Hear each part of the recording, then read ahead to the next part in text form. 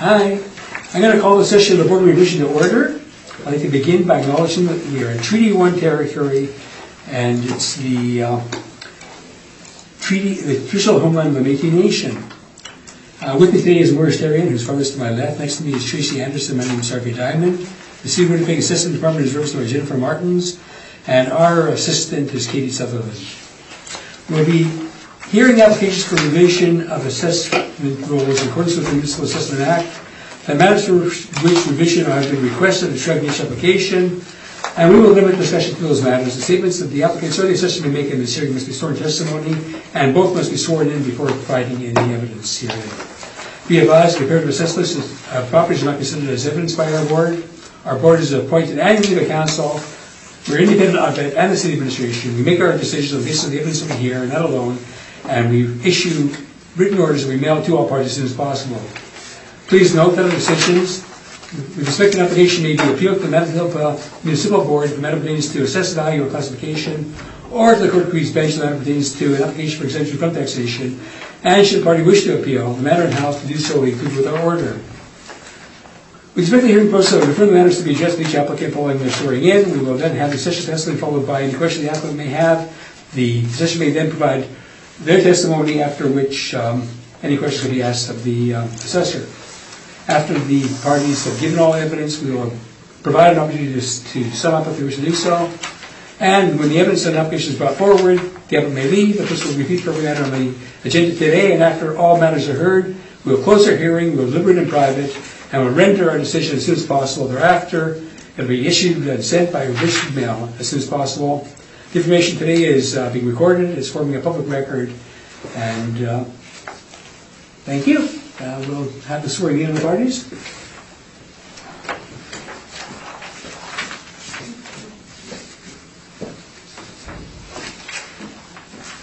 Please state your name. Jennifer Martins. Do you swear that the evidence you're about to present is the truth, the whole truth, and nothing but the truth, so help you God? I do. Thank you.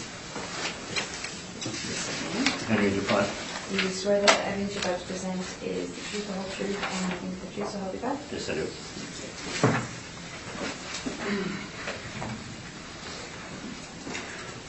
Okay, Ms. Martins will proceed with the first matter on the docket, which is 1245 Henderson Highway, and you can proceed when you're ready to do so. This is file number 19-3492, roll number 0400025460. The assessed value is 11,747,000. This is class code 40, so an institutional property with liability status of X, sorry, S, which is taxable school exempt. This is one building, 14 stories, built in 1982, with 104 suites and 14 outdoor parking spots. Page two has the income value summary. Shows that there are 91 one-bedroom suites and 13 two-bedroom suites, with an average monthly rent per unit at $903.49. There's a vacancy rate of 2.6%, and an expense rate at 46.52%, and a capitalization rate at 5%, which gives us our 11,747,000. On page three, we have some rental comparables. On page four, we have the City of Winnipeg capitalization rates. On page five, we have capitalization rate evidence. And this is a sample of actual sales that took place during the reference period. And the purpose of these individualized, individual capitalization rates is to illustrate the accuracy of the model and not meant to be comparable specific to the subject property. Page six, we have um, some municipal act excerpts. And page seven through nine is the income and expense information from the subject property. And on page 10, we have um, a photograph of uh, a map showing that this is on Henderson Highway between Chief Peguis Trail and McLeod. And we've got two overhead views of the property. Thank you. Thank you. Mr. Fine, do you have any questions of the assessor? Yes, um, your rental comparables, page D. Yes. So the subject has got 91 one-bedroom and uh, only 13 two-bedrooms, so it's uh, highly skewed towards one-bedroom. Yes. And gross floor area at the bottom, is 794, and your comparables are all larger. Would you agree subject is uh, inferior due to size? Uh, yes. Now, your first two comparable has uh, uh, a high amount of uh, one bedroom, but the uh, comparable number three has uh, much higher two-bedroom count percentage-wise, and so is uh, comparable number four. So would you agree those rents should be uh, adjusted downward due to the two-bedroom mix? Yes. So your comparable at the bottom, they're uh, 881 to 918, and the subject is 903, and even though it's smaller, so would you uh, agree that uh, your rents uh, appears to be on the high side? Uh, not necessarily. Um, the amount of subject property is also newer than comparable number one, which would reflect um, in that way. And it's it's sorry, it's newer than number one, three, four, and five. It's the same age as number two. So, and I'm not sure about the, um, how recent any construction or upgrades on any of the properties, including the subject. So it's tough to say.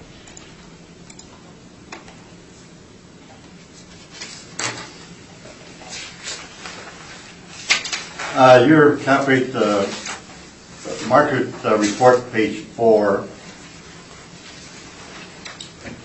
the uh, Colliers has high-rise five to six, and you're uh, at five, you're at the low end of the range, is that correct? Yes. So would you agree that uh, 1982 is not a Class A property, that would probably be in middle to, uh, to the end of the range? I don't know if I agree with that.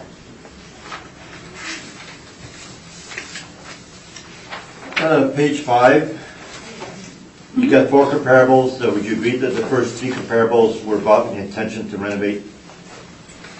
Um, in that regards, we were informed that there was slight upgrade to number one, so I, talking about percentage-wise on, and the amount that con- constitutes an upgrade that makes it so it shouldn't be as for cap rate, I disagree with that one.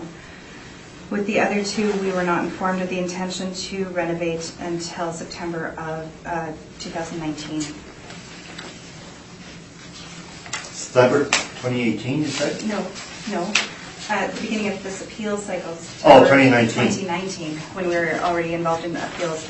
So it's, um, You found out from my rebuttal, is that correct? yes, we And found out that- from your rebuttal. So we were not given information um, in a timely enough manner uh, to know that these were um, being purchased for upgrade. That information was not submitted to the department. That's all question. Thank you.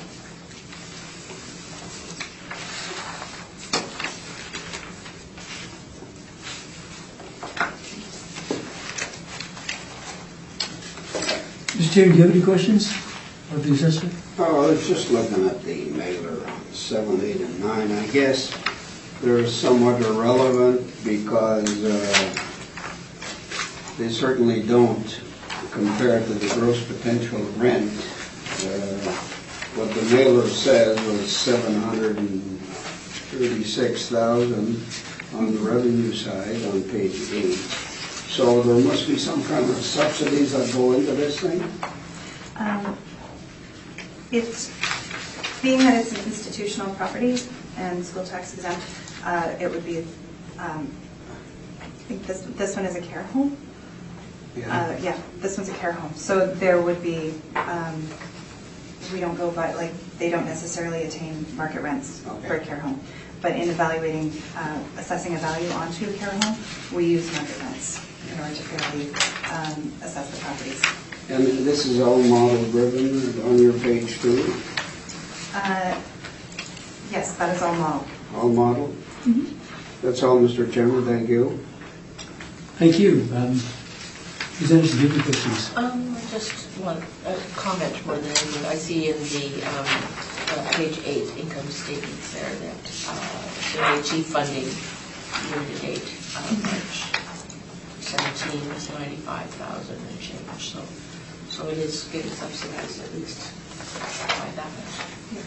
That's it, thank you so much.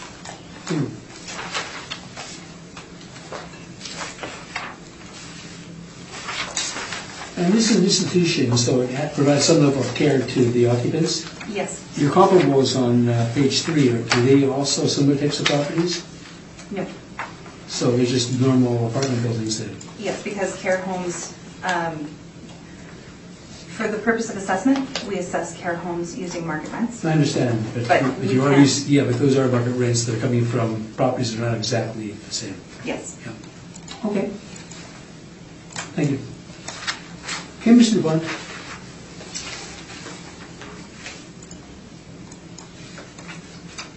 Okay, so rebuttal on cap rates. That's for all properties for today, so extra for each lot. I think we have your cap rate study. I think we're getting something in. That's a re- rebuttal on the assessor's Oh, cap rate. I know you- Thank you. Thank you.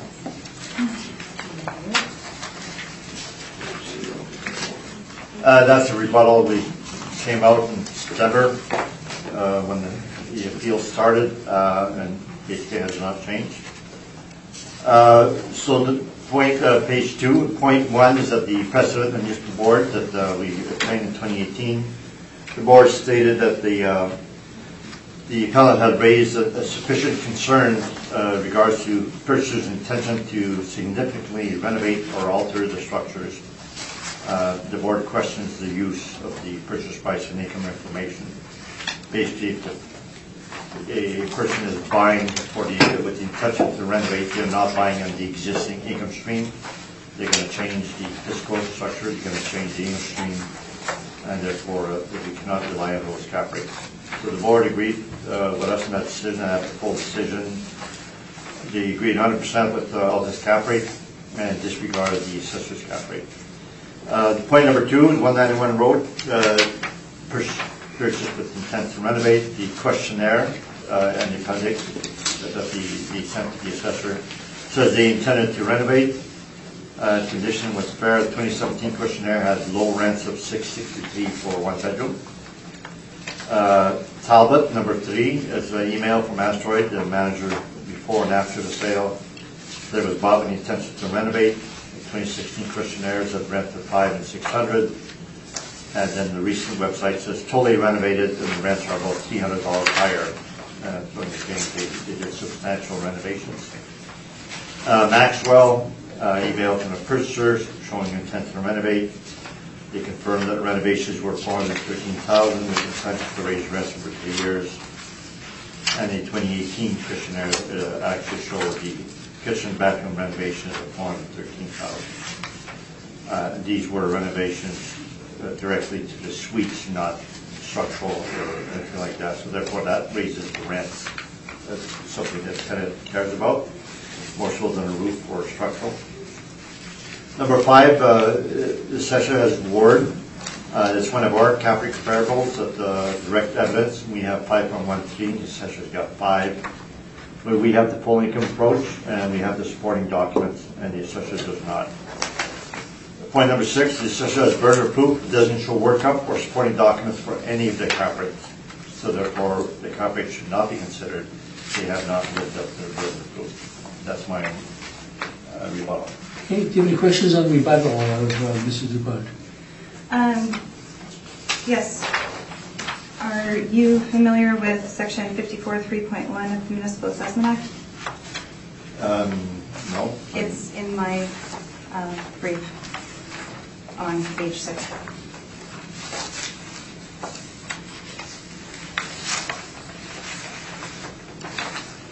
Where in response to a request for information or documentation under clause 16.1C, a person provided information that was substantially at variance with information that he or she presented at a hearing, the presiding officer of the board or panel may order that the information presented by the person at the hearing is not to be considered by the Board or panel in making its decision.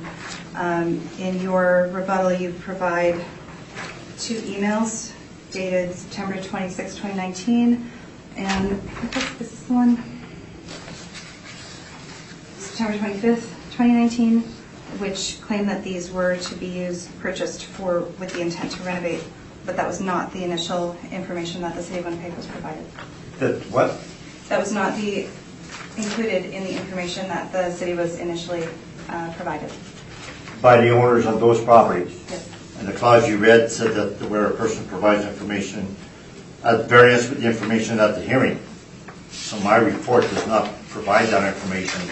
It's not inconsistent with my own information. Well, it's inconsistent with the information that has been provided to the city. No, no, but it says uh, variance with information that he or she presented at the hearing, Yes. not when they gave you In data. any event, okay, what we're looking for here is we want to find a fair cap rate. Yes. And, you know, trickery is, we, we want to find a fair cap rate. Yes. Okay? And I think that's what you and Mr. Capone are trying to demonstrate, so. Right, You know. but my argument is that Anyway. your clause is go not ahead. valid, it's Go not ahead. valid. Okay. Well, It does not apply. Well, that's, that's, at the time that's your position, but the fact of the matter is that we're just trying to find a fair cap rate here, okay?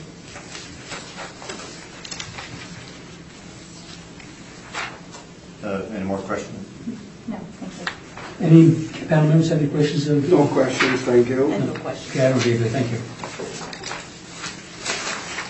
Uh, I'd like to present the cap rate study.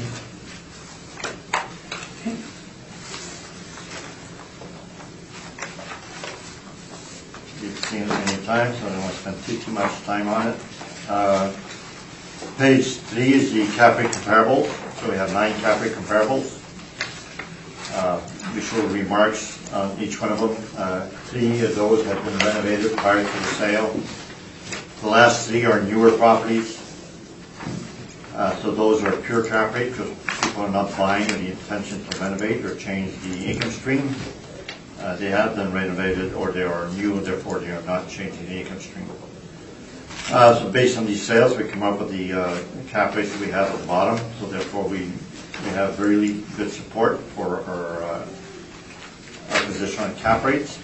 Page five, four, the next page. As the uh, Colliers and the CBRE reports that the assessor uh, uh, quotes, and we showed that what it was the previous uh, assessment, the first quarter of 2016. So the first one for high-rise, the Colliers, uh, they were 4.75 to 5.75, they're now 5 to 6, so the, the- the low end increased by a quarter percent and the high end increased by a quarter percent. And the low rise, the high end increased by 25%. CBRE shows that the, they have the same cap rate as they had for the last cycle, so there's no compression, but no increase. Uh, But they do show a low-rise A, low-rise B, so the low-rise A, they have five and a half to six, and the assessor starts a lot of their cap rates at five or five point three. Uh, So they even uh, lower than the assessor, uh, than the CBRE at low-rise A. I would believe that the low-rise A would be for newer properties, 1998 plus.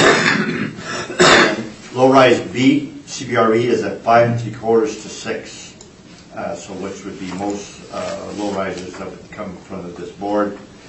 Uh, Most low-rises were built prior to 1980, uh, very few were built afterwards.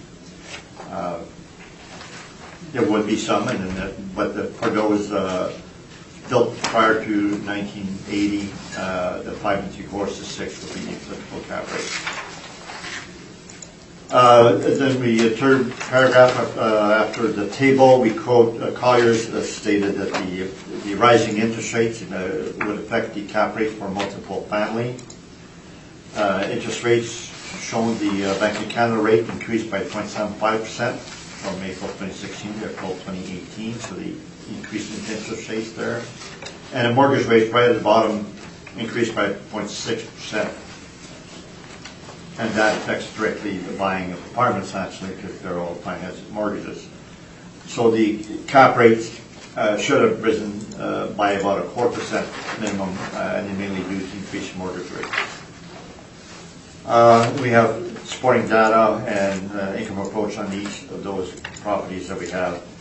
Uh, And that's my report on cap rates.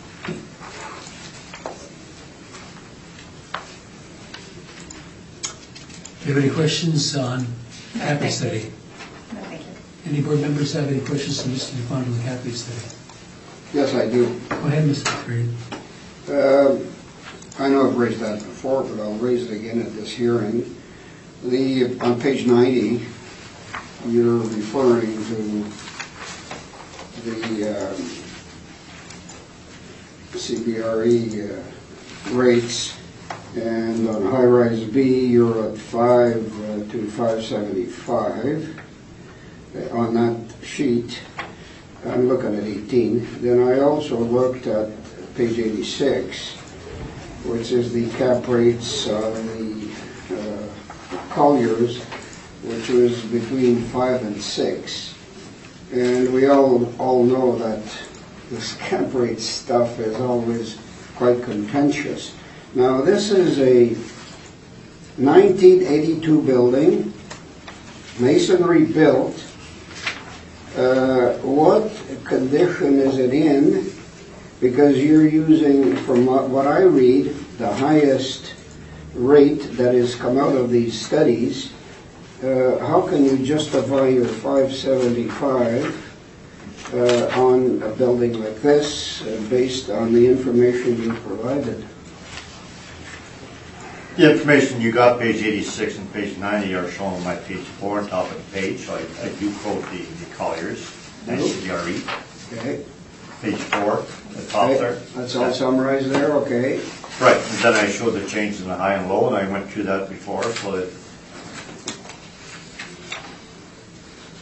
So they, they, they have high-rise B at five to five and three quarters, uh, and Colliers has five to six, so the high end's five to three quarters to six.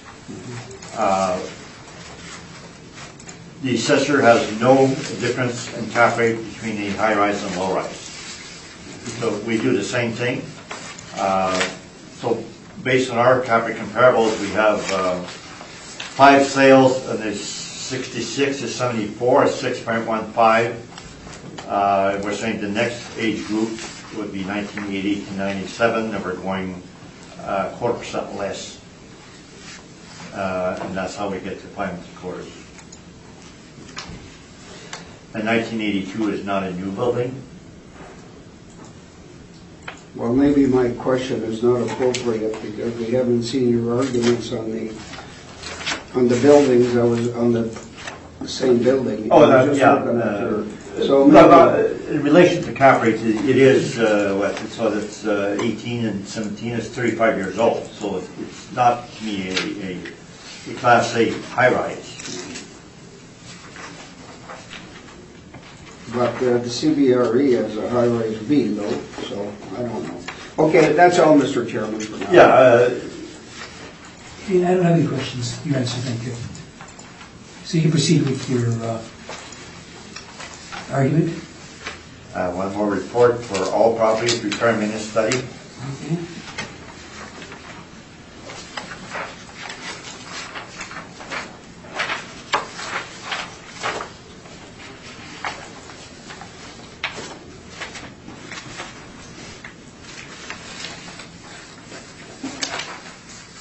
Uh, One that study.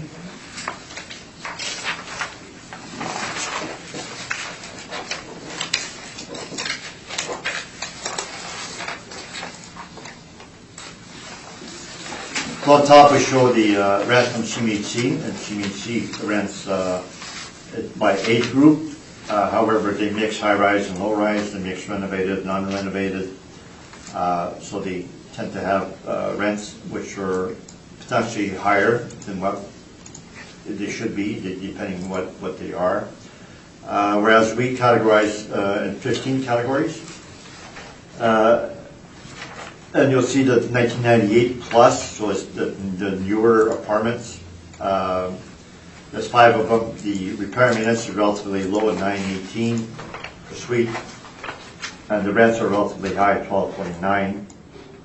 1998 plus renovated, same thing, low repair maintenance, uh, relatively high rents. The, uh, the one that has a lot of uh, properties is uh, number five, the high rise is 46 to 1989, there's 20 of them. Actual repairing units, 2012. We stabilized at 1731. The average rent is 999, that's the second last column. Uh, And then the other group that has a lot of property is the uh, number 10, low rise, 60 to 79, that's 47 properties. The uh, repair minutes actual is 1553, and we stabilized at 1409. And the rent there is uh, 809. Uh, So that's the, uh, would be, let's say, the average rent for that uh, group. And there would be some on the, with the high, on the high end of the rents in good condition, from the low end, so that's the average. Um, So then we have each of those groups, uh, uh, and then the, the one with the lowest, uh, the most properties is uh, page 11. Low rise, 60 to 79. Uh, And they're uh, sorted by the, uh, the third last column by potential rents after discounts. Uh, So we have the, the low rents to start, and then we have the high rents. So the, uh, the uh, highest rent is at the bottom, is at ten seventy-two per suite. The repair minutes on that one is twelve ninety-three. The one before that, ten seventeen, is eighteen thirty-seven. Uh, So the properties with the lower rents will tend to have lower repair maintenance, and the property with the uh, higher rents would tend to have higher repair maintenance. Uh, It only makes sense that if you spend more money on your property, you make it more attractive for uh, the potential tenants. So the level of rents is quite often, uh, well, it should be matched to the rents and what type of property it is, whether it's new, renovated, or unrenovated.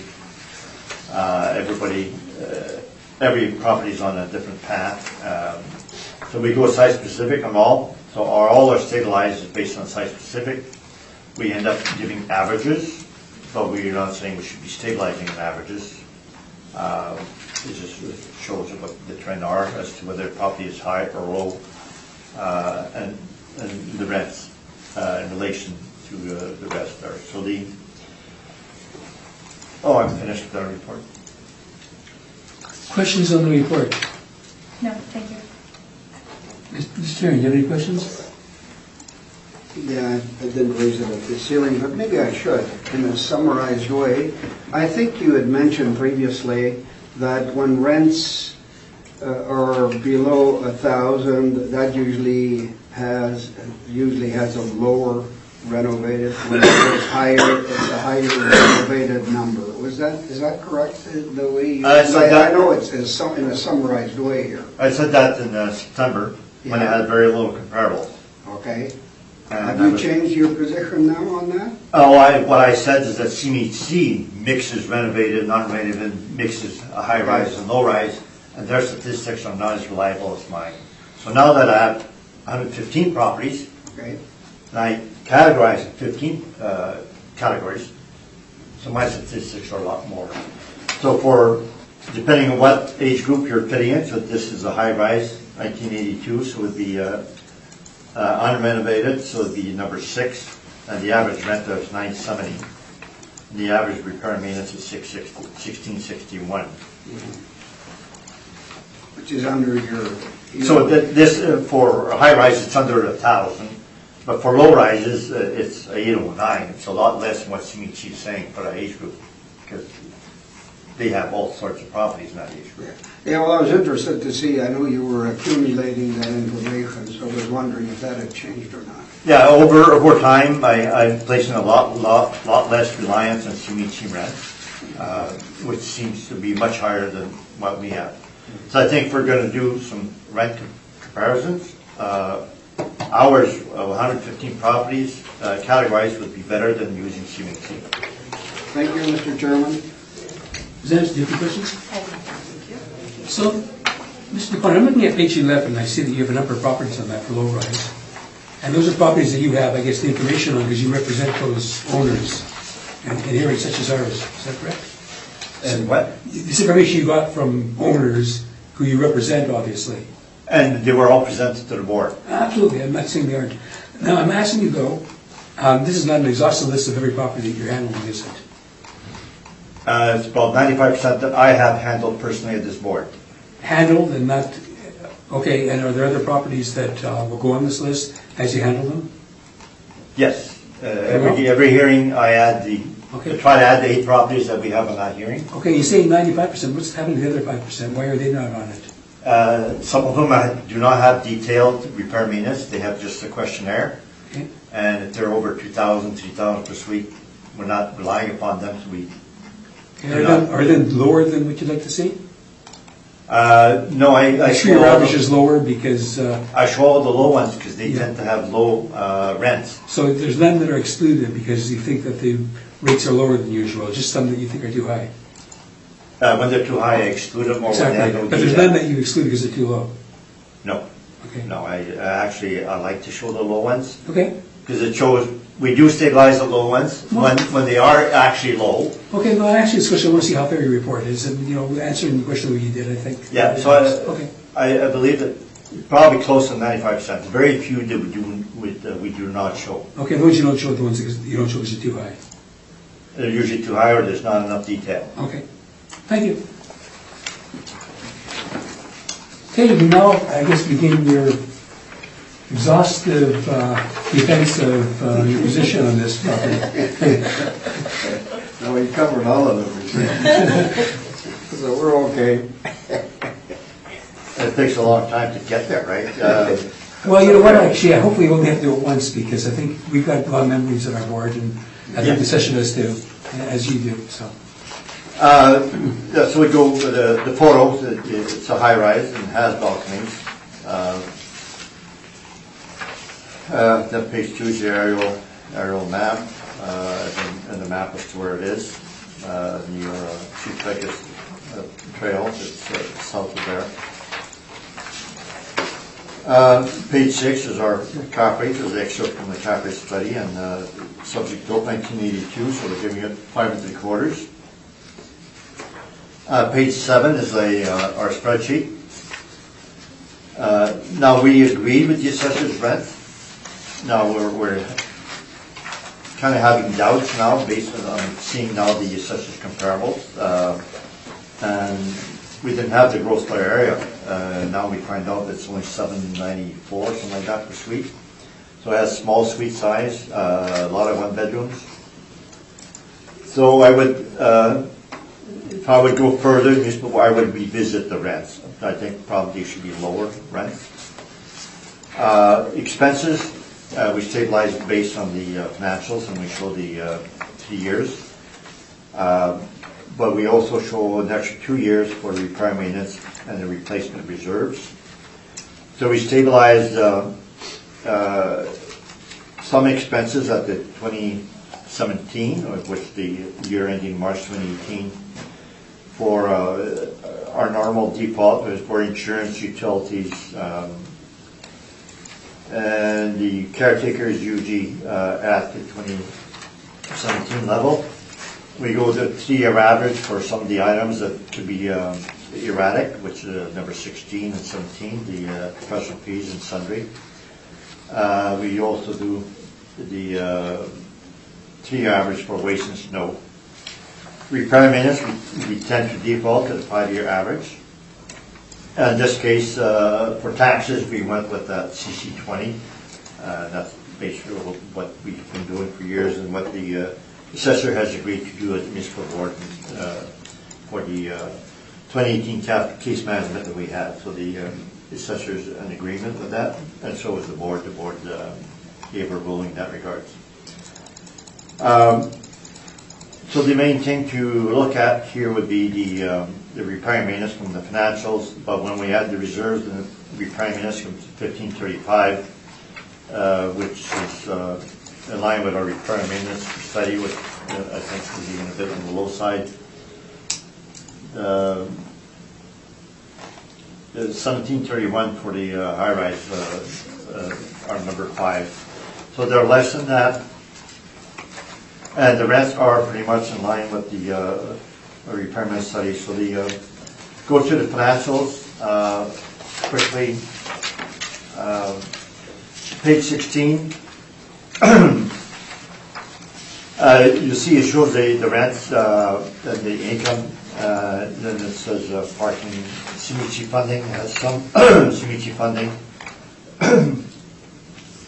Uh, Shows the expenses there, Uh, the salaries is the, we put that under management, the caretaker, we've uh, put that number 28, the repair maintenance, salaries, benefits, and they have uh, no expenses for nurses or, or uh, other types, so this is strictly a uh, seniors residence.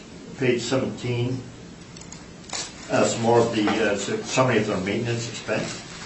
And we separated waste and snow, because we show that separately on our uh, spreadsheet. Uh, Page 18, that's the reserve fund. Uh, So the, the the allocate funds every year, uh, we're not interested in what they allocate, we're only interested in what they spend from uh, inside the, the replacement reserves.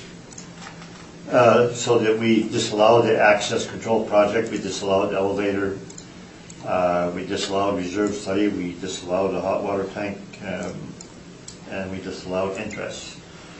So for 20, March 2018, we, we allowed uh, painting um, and flooring. And it shows the uh, flooring is 356 per suite and 158 for painting and 93 per suite for uh, appliances. Uh, Our repair maintenance study, I forgot to mention, uh, attached to the appendix is the uh, data that we received from K4, uh, what the cost to replace our flooring and their appliances. Uh, And then it came to about 4,000 per suite for flooring, on average for one and two bedroom. Over 10-year life, that's 400 per suite. So when we stabilize uh, flooring over five years, uh, we uh, reduce it to uh, 400 as- as a max if it has exceeded it. And we also studied uh, some properties in regards to painting, and our max on that is 175. The appliances that per P4 was uh, 116, 170, uh, so therefore we uh, divide by 10 years, so we have a maximum 167 per suite over the five years. Uh, So number one, uh, heating, venting, and plumbing 6122, and uh, 2017 was 4225. Um, And for, uh, it says C 315 for yearly comps. Uh, Page 19 is the 2016 uh, statement. Uh, Naturally, we disallow interest and amortization and uh, provision for replacement funds. Uh, Page 20, that's the repair and maintenance schedule. Uh, We show the HVAC, or heating, ventilation, and plumbing. And We show the, uh, all the, all the years, the other four years. They were around the 20 to 28,000. So for that year in 2016, we allowed only 50% of that 42,000 to bring it down to 21, bring in line to other years. Page 21 is the reserve fund for uh, 2016, 2015. We disallowed interest, uh, heating, uh, level patio, and tub liners. We allowed uh, other items. Uh, Page 22 is the 2015. uh, And the reserve fund for 2015 on page 24. Uh, The carpets and flooring was 180 per suite, appliances was only 18.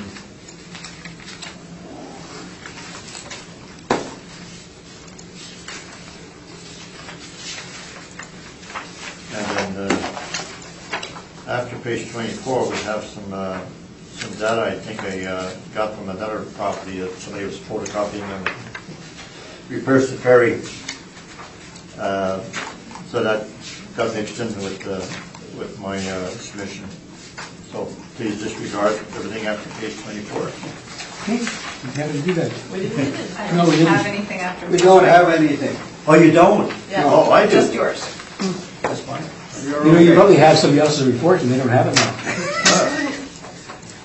Well, Take the extra mine. Anyway, yeah, we don't have any after 24, so. Okay, uh, so Okay, that's my so that's your report. Any questions, Ms. Martins? No, thank you. Ms. Adams, do you have any questions of the uh, applicant? Curiosity question, what is an EPH resident or tenant? It's in the, Elderly person's housing. okay, gotcha. Thank you. That's it. Okay, Mr. Terry? Well, I'm always interested in the repair and maintenance and replacement reserve, but I guess you've done your best to try to explain both here, which comes out to fifteen thirty-five. Right. Okay. Uh, Well, I'm looking at, I'm sorry for my So then, comments, um, page seven. Yeah. I'm on page seven, okay. So that would, just bring it back into your your comment on repair and maintenance previously. I, I think you've answered it, but uh, the rent is at 904, so a 1535 repair and maintenance would be uh, reasonable in relation to what you explained to us on repair and maintenance. Yeah. Yeah. Yeah, it's a little little bit on the low side. Yeah. Okay, thank you. That's all I had, Mr. I Chairman, don't have thank any you. questions either, so thank you very much. You'll hear from us on this one, and go on with the next property, which is item number two on our agenda, which is uh, 1080 Henderson Highway. When you're ready, Ms. Martin, you proceed.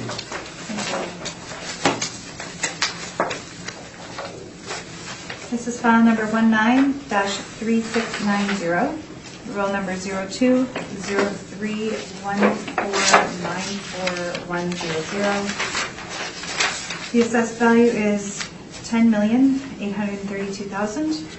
This is class code 20, so residential 2, liability status is taxable. This is one building with 12 stories, built in 1971 with 117 suites and 97 indoor parking spots. On page two, we have the income value summary. Uh, This building has two bachelors, 113 one-bedroom suites, and two two-bedroom suites, an average monthly rent per unit at $827.91. The vacancy rate is 2.6%, and the expense rate is 49.29%, with a capitalization rate at 5.3%, giving us the 10,832,000. We have the income and expense mailer, page seven through, uh, through 11. And on the back, we have a map and two overhead pictures showing that this is, again, on Henderson Highway, in between Chief Peguis and McLeod. Thank you. Thank you. Mr. Bonnet, any questions?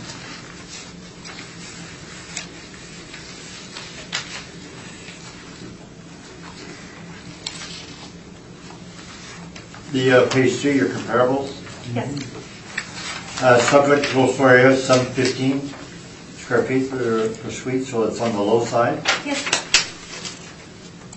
Uh, You have only one that's at same size and that's comparable number one, that uh, the rent, seven eighty-four is less than the uh, subject. Yes. And the subject suite mix is uh, heavily skewed to one bedrooms. So some of your comparables, the two, three, and four would have uh, two bedrooms in there, which would skew the rents, is that correct? Yep. Uh, Did you look at the subject rents, uh, and would you agree that uh, we should be using the actual rents? Um,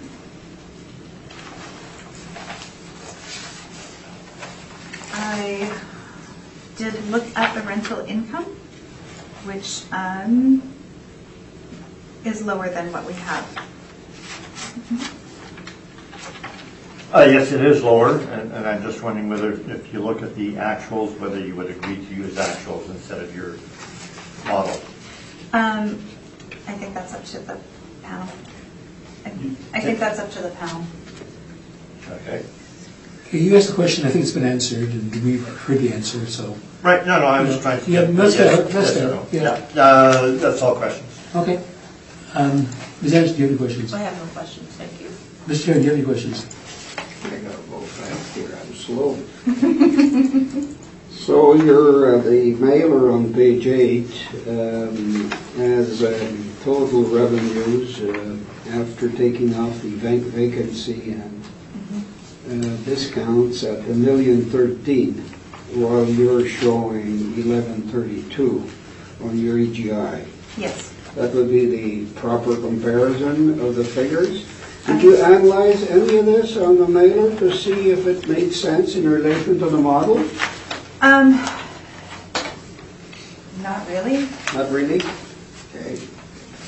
We'll see what the appellant has to say. Yeah. Now, I haven't looked on the expense side here. If you're, as I said, I'm a little slow sometimes. Lots of figures here. There are.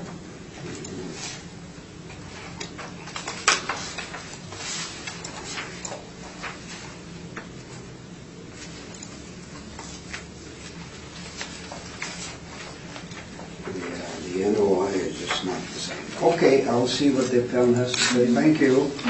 So, Ms. Martins, I'm looking at your main comparables that Mr. Dupont alluded to. You. Mm-hmm. And looking at them, I have to say the comparable one seems to be a really, really fantastic comparison to this property. It's right next door. It's built about the same time period. Mm-hmm. It has the same mix of suites, about the same size, much lower rent. And your other properties, as Mr. Dupont pointed out, seem to have higher rent suites and reflect higher, bigger suites and um, a more- a bigger propensity of uh, two bedrooms and other, and other mixes. And uh, I'm just saying, don't you think the comparable one is probably the best comparison for the property we're dealing with? I'm also looking over at uh, number five, Okay, because it was built in 1972. right, And uh, it's, the suite, average suite size is um, less than 100 square feet bigger, right. but that's a significant difference in the rent between comparable one and comparable five. Um, There's lots of factors that make different buildings perform uh, better than other buildings.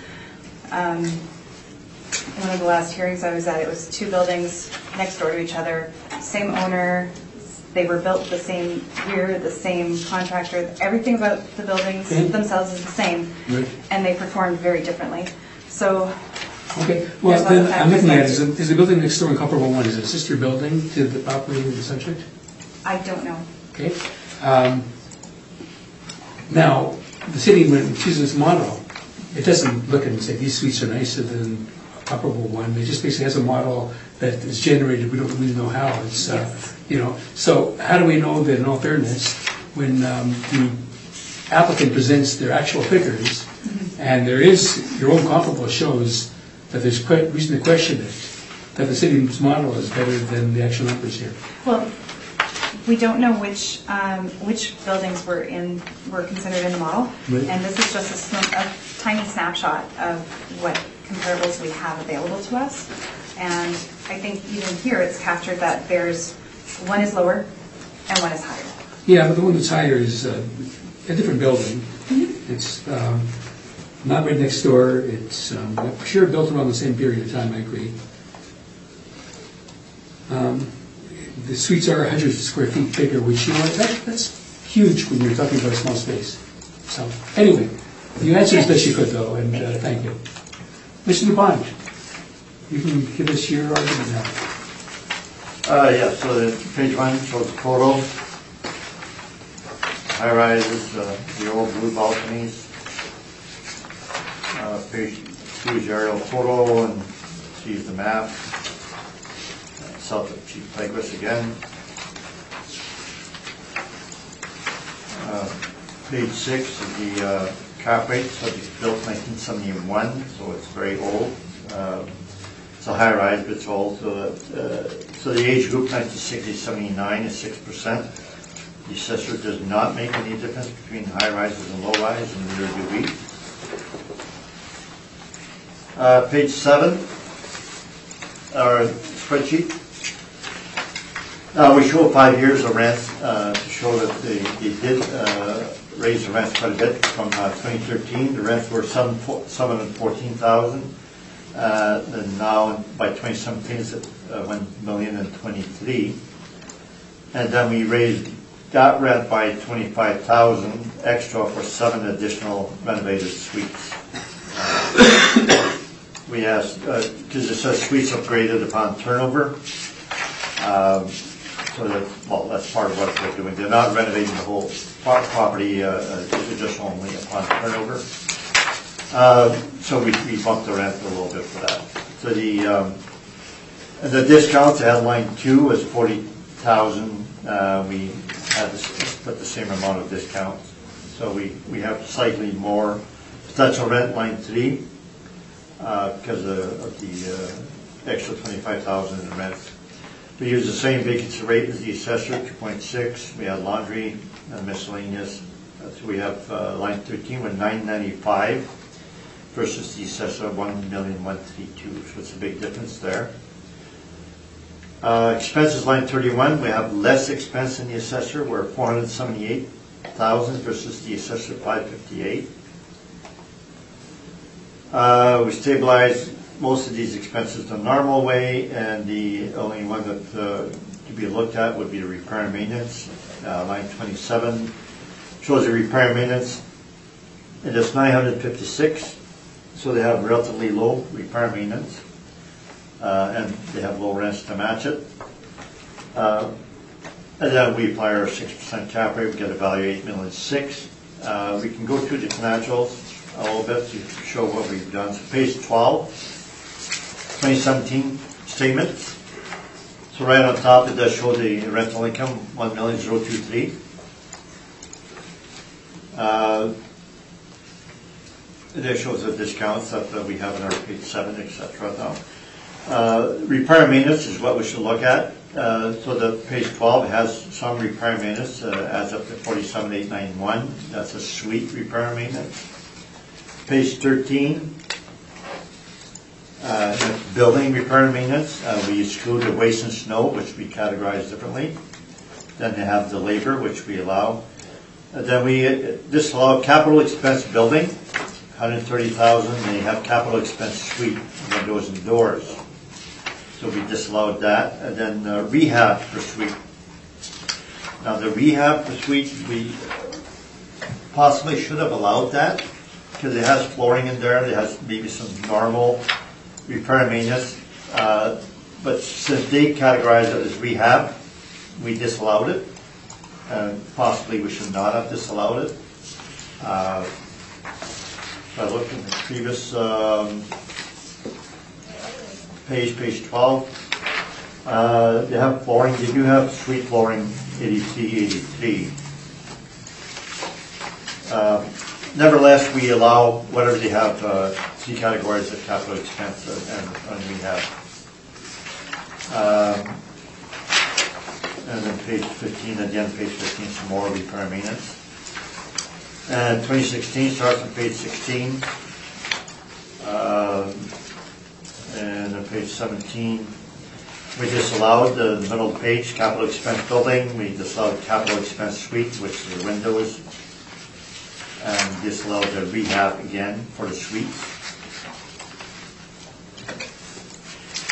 Uh, and then we went through the same process for 2015, et cetera, so the 2015 would be,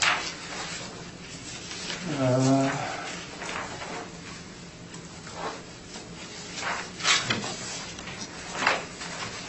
are they categorized things differently for 2015? Oh, yeah, they do show capital expense on page 21. Uh, Capital expense building, capital expense suite, uh, rehab expense, uh, page 21 and 22, and we disallow that also. So that would be my report. Thank you. Any questions uh, on the report, uh, Ms. Martins? No, thank you. Mr. Terry, do you have any questions of uh, the applicant on this report? Um, No, I'm okay, but I, I, on the EGI, on page seven, line thirteen, it's minor, but uh, the mailer showed uh, a million thirteen, which is very close, uh, which is eighteen thousand more, but obviously your expenses are in relation higher, I guess. Uh, Not really, the city's at forty-nine, you're at forty-eight. So, um, I, I guess the main question here, it's really the income that is the main factor in this property, correct? Uh, yes, because their expenses are lower, yeah. Yeah, so that would be the main issue. That's all, really, I, I just wanted to confirm. Thank you. Ms. Anderson, do you Thank questions? I have a couple questions. Go ahead and ask them. Um, Have you been in the building? Do you know the quality of the suites? Is it average, above average, below average? Uh, I have the email here from December 2019. Uh, They indicated 53 of 117 suites have been renovated, so less than half.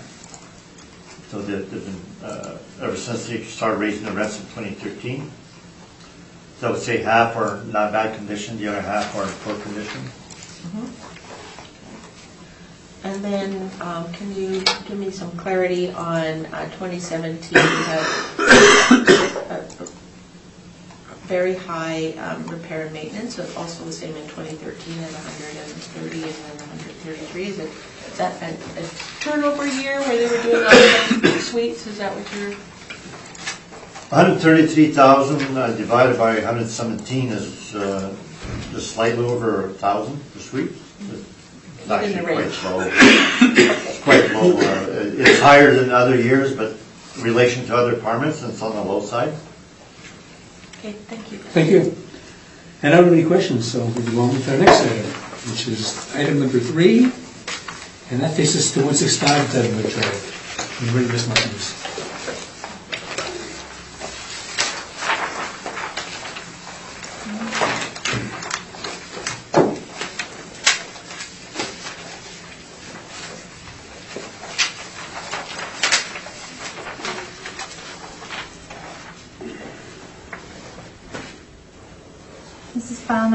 9-3659, Rule Number 0400190800. This is 165 Donwood Drive.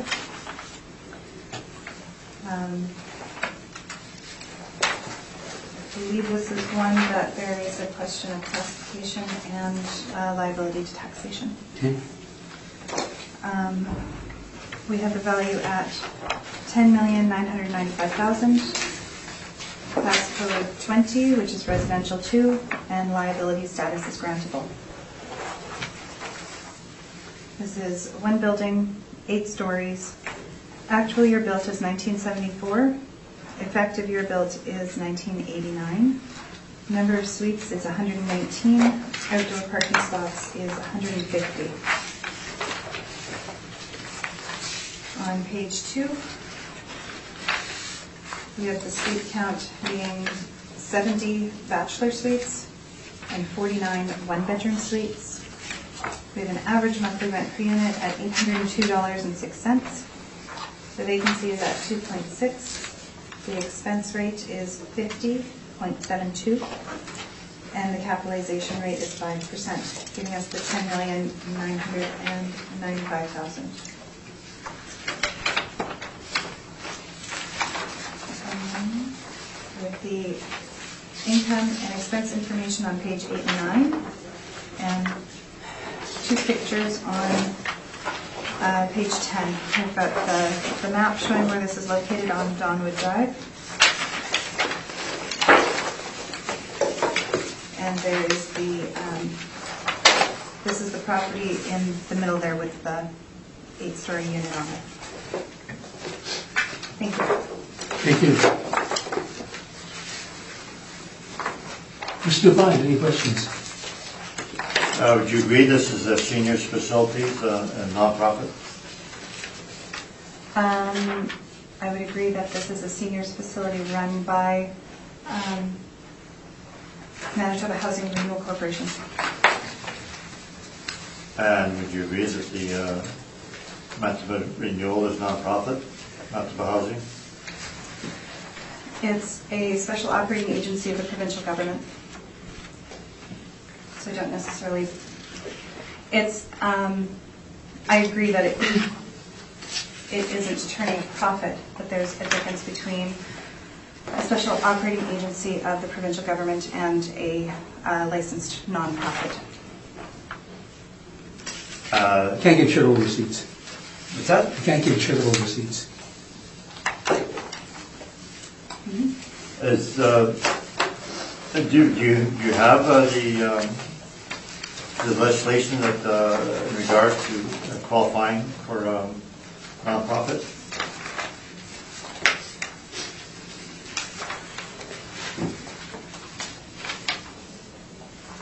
Mm, No. No, it it would not have any description, it would just say that it's se- seniors facilities for nonprofit, and they don't go to any, any length as to, to, uh, to define nonprofit and other things as to whether they get uh, charitable receipts or not. It is required to have a license. Does it say that in legislation? I'm not sure. No, I believe it doesn't, Okay. right? I, I don't know, do you have the legislation on you so I can check it? Um, I don't think so. Um, I mean, they're not, uh,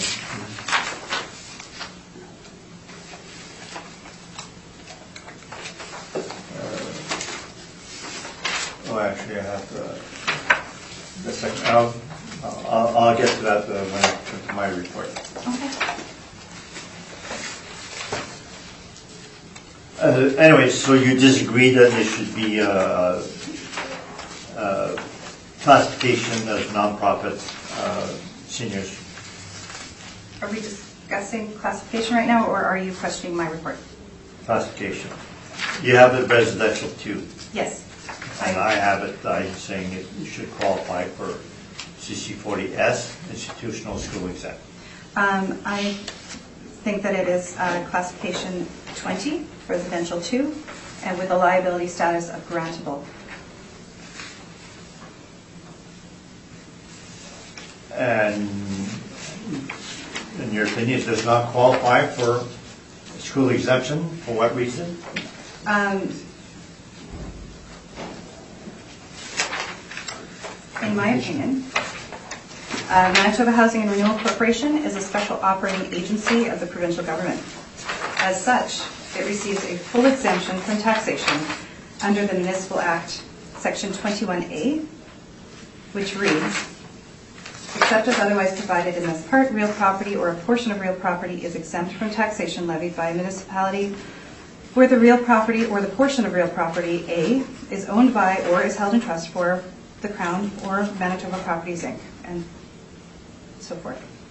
Um, However, under the Municipal Act, Section 33, sorry, Section 3351, grants must be paid in lieu of taxes in the amount they would as if an exemption were not in place. So it says that grants must be paid in each year to each municipality with with respect to crown lands or institutional lands in the municipality in lieu of the taxes that would be payable with respect to the lands if they were not exempt from municipal taxation. Further, when the Housing and Renewal Corporation Act, Section 9.2, is included in this, it specifically mentions that grants in lieu of taxes towards the cost of school services are to be made annually. So it says, in lieu of the payment of taxes, the corporation shall make annually to any municipality or local government district in which land or personal property of the corporation is situated grants towards the cost of municipal and school services in amounts fixed by the board. In my opinion, this clearly shows that it is not the intention of any of these acts to give the government the ability to double dip through consecutive exemptions and abandon its obligations to the schools of this province or to shift the tax burden for the costs of the schools to the individual taxpayers. Who is saying that you should not be uh, uh, shifting the, the uh, responsibility for, who's saying that? That's my opinion. Oh, it's your opinion. because the school, the Housing and Renewal Corporation Act specifically mentions that it should be paying the school services in the amount fixed by the board.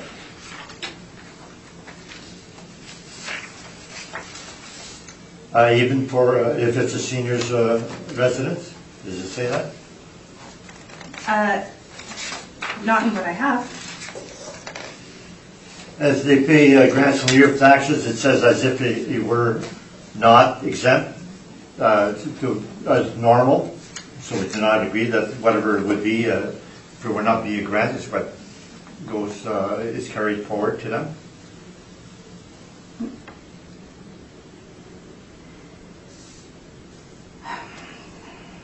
We're saying that if it is, if we're saying that as a Crown Corporation, or as, sorry, as Manitoba Housing is a special operating agency of the provincial government, that the liability status set up for that situation is to be grantable. And you cannot apply grantable and school tax exempt at the same time. We They don't, pay give- we don't. give- grants and your tax, they pay hundred percent of taxes as if you were not getting, getting a grant. So the grant is just equaling what it would pay if you were not, uh, government. Would you agree with that? So they're not Yes. paying more or less? Yes, And when the property is uh, classified as commercial, they will pay as, as other, and when it's classified as residential two, they'll pay as residential two, is that Yes. correct? And when is school exempt for, if you had different ownership, why does that, that not go? because if they were to be um, not grantable, in order to get the school exemption, they're required to have a license. And Who says they're required to have a license? Uh, That's part of, in the legislation, we don't give the school tax exemption unless we receive a license. It's your own qualifications at the assessment department, that's not in the legislation, is that correct? No. I don't have, I don't have the exact number of legislation in front of me for that. It is, a re- we don't just hand exemptions to um, anyone who's setting it up. They need to apply for a license, and they need to get a license and have a license in order to qualify for school tax exemption. And would you consider the board uh, as having to require a, a license, or can the board just rule according to the law? I disagree with your statement. Um, We talk about the board, we'll make our decision based on how we interpret it. Right, And that- uh, what they do doesn't matter what the- administratively is- Doesn't matter what the session says or you say, we'll interpret it. You direct us where you think we should go, we'll look at it. But you know, you're not going to get any further with your questioning, I don't think. I think um, Ms. Martin's answer is well she can. And if you have arguments, we'll be pleased to entertain them when when the time. Okay? All right, so the, the, uh, just to clarify, if this was not owned by Manitoba Housing, it was nonprofit, and it's operating as the seniors, you would be giving the school exemption, is that correct? I would be giving this property the exemption, the school tax exemption, as a nonprofit if they have applied to the government and received a license, And who's the government they have to apply to? uh, to the provincial government. Who hands out these licenses? Manitoba Housing, is that correct? Yeah. I think so. Right, so you want Manitoba Housing to issue a a license to themselves, is that correct? Uh, No, it's not correct.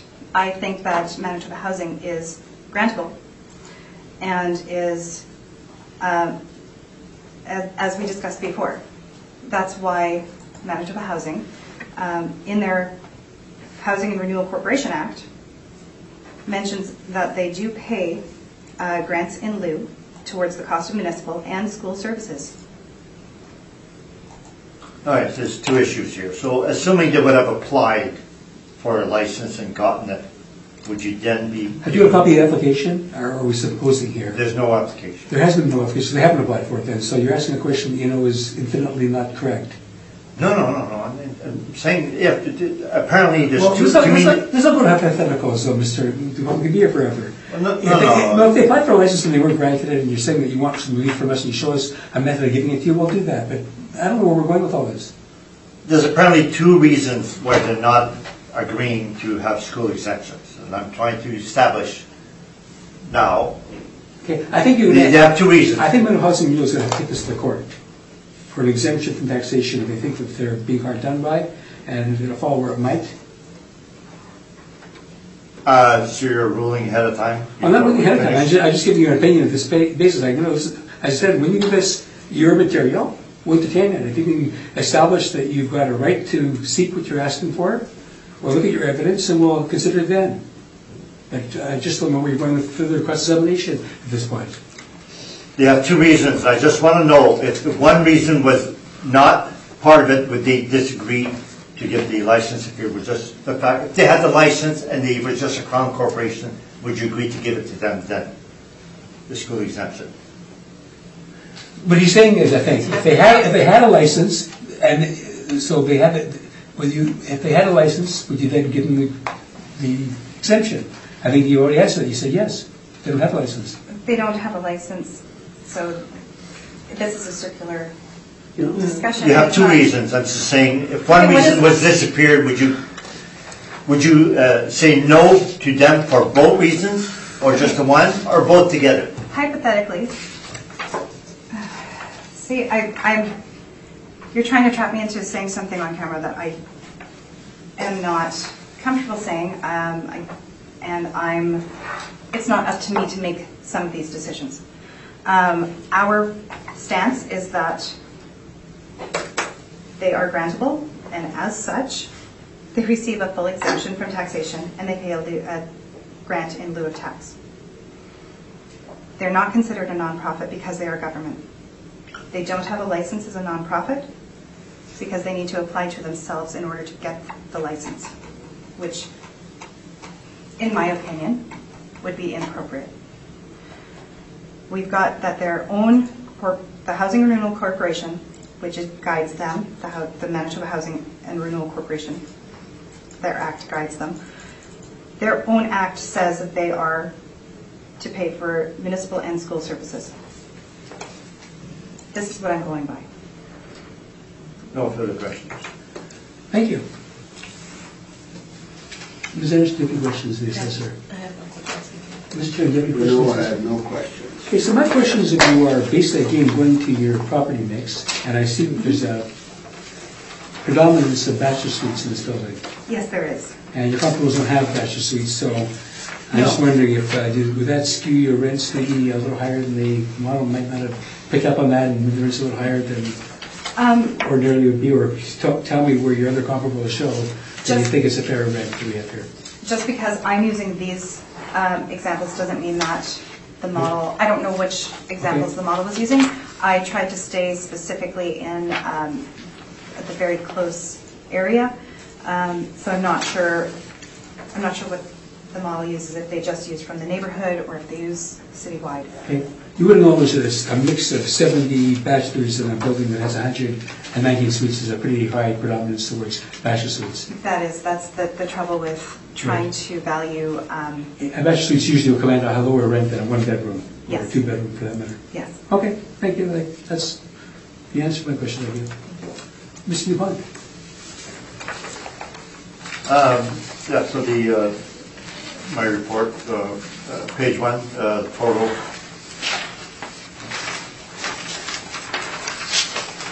Uh, Aerial photo of page two.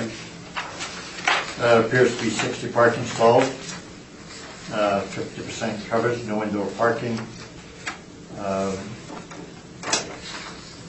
What does the assessor say about that?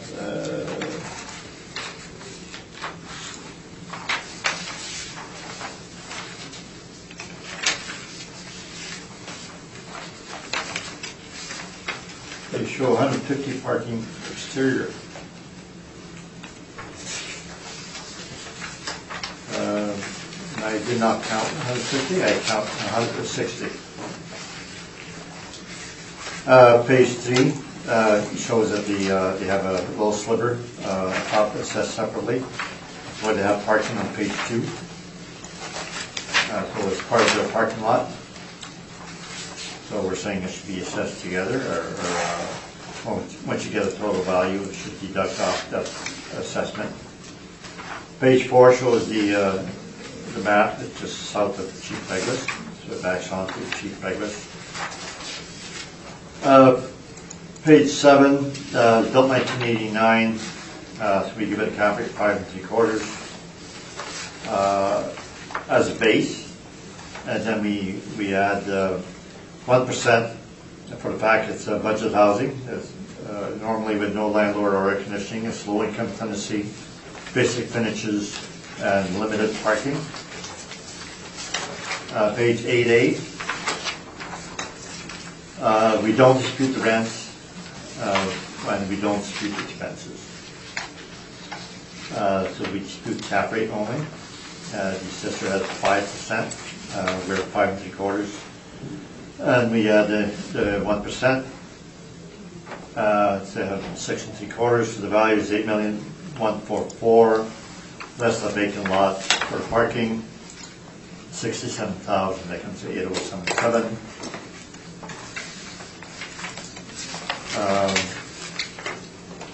On page uh, sixteen, I got some uh, aerial photos in different size, uh, sites, to see whether there's an entrance to a parkade, and so page 16, there's no parkade entrance there. On Those two sides, and and, uh, page 17, there's no entrance to parkade. For the other side, so therefore, uh, what you see in the exterior is all the parking they have, uh, and I count 60 stalls, not 150. So therefore, part of the cap rate is increased risk because it it doesn't have as- enough parking for the, for the suite. Uh, So that should be part of the uh, cap rate. Uh, We have an extra appendix, and it's for both 505 Monroe, 165 Donwood. And you should have a, uh, an extra report, the extra appendix, it says. It's a large report.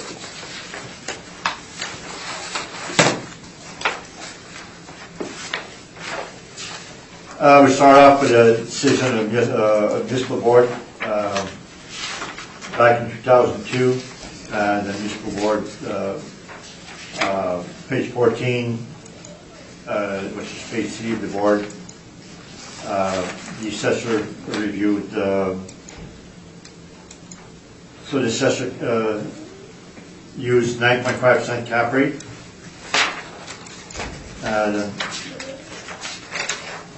Page 17, the agent pointed out that the subject represents a relatively high-risk investment.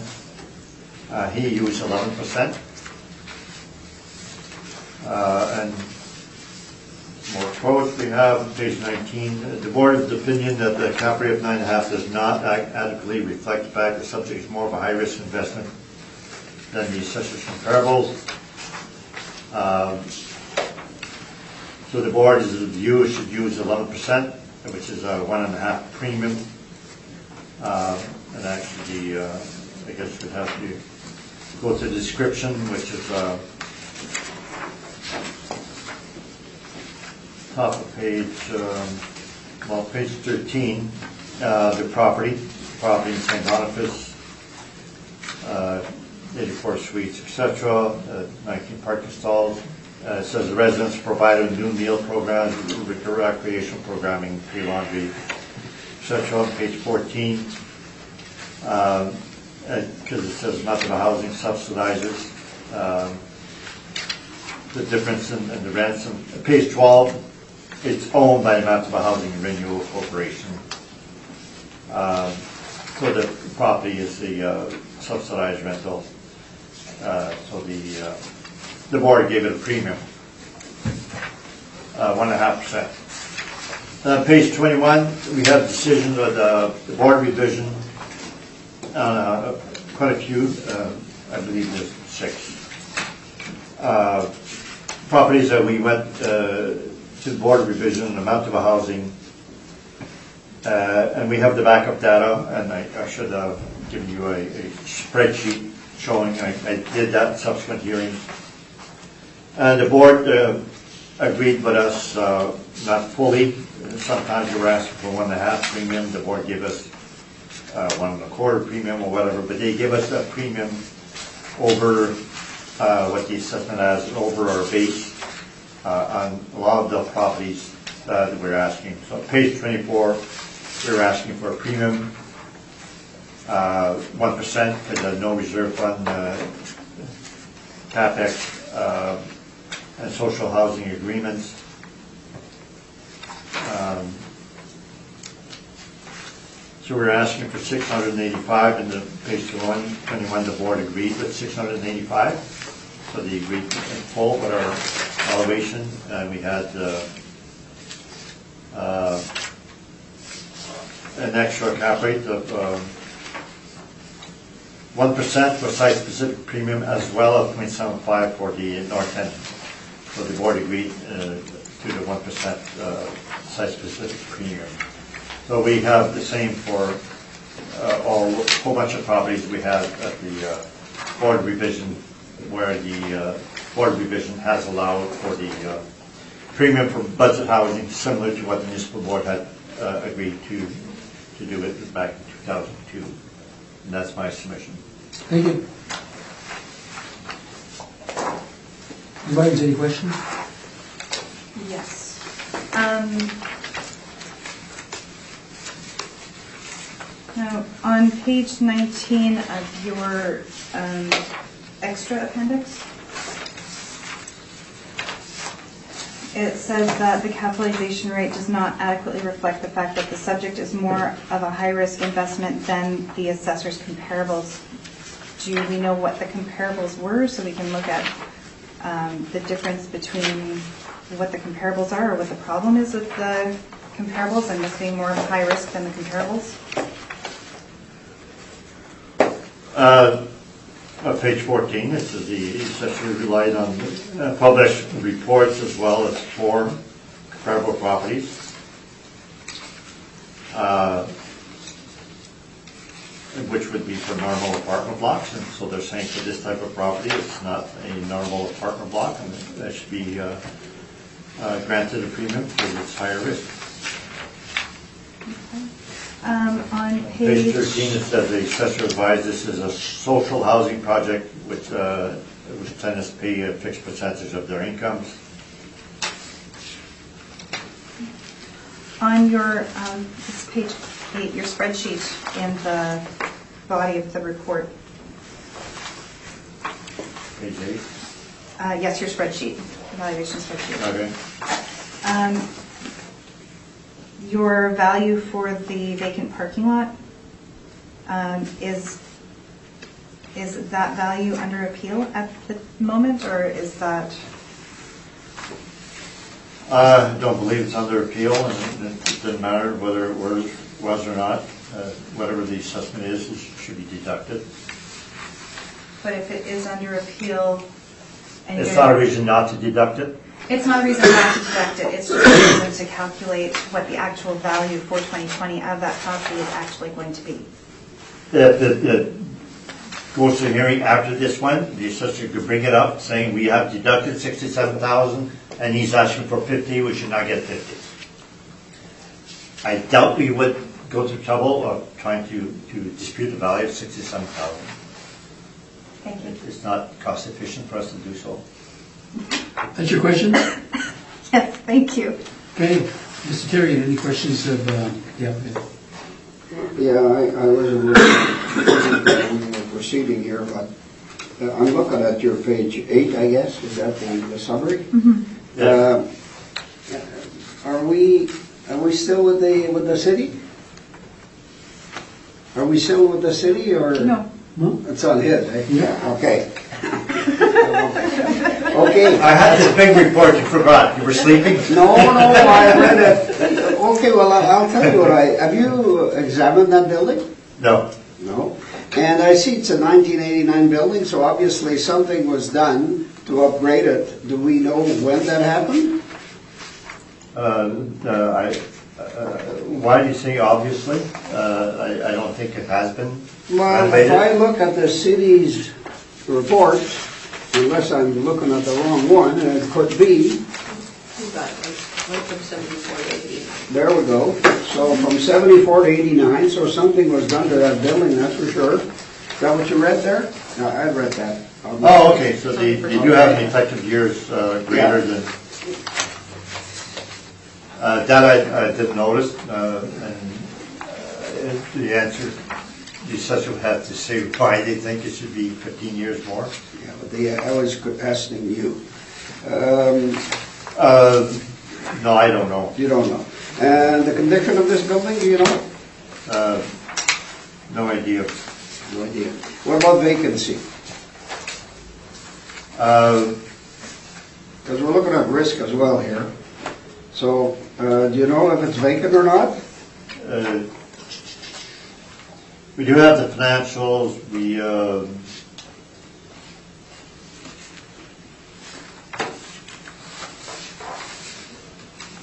they don't show anywhere uh, whether it has uh, vacancy or not.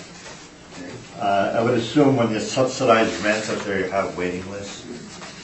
So if you bump the rent from seven hundred thousand to one million, then be market, then you could have vacancy. You should not have vacancy at seven thousand.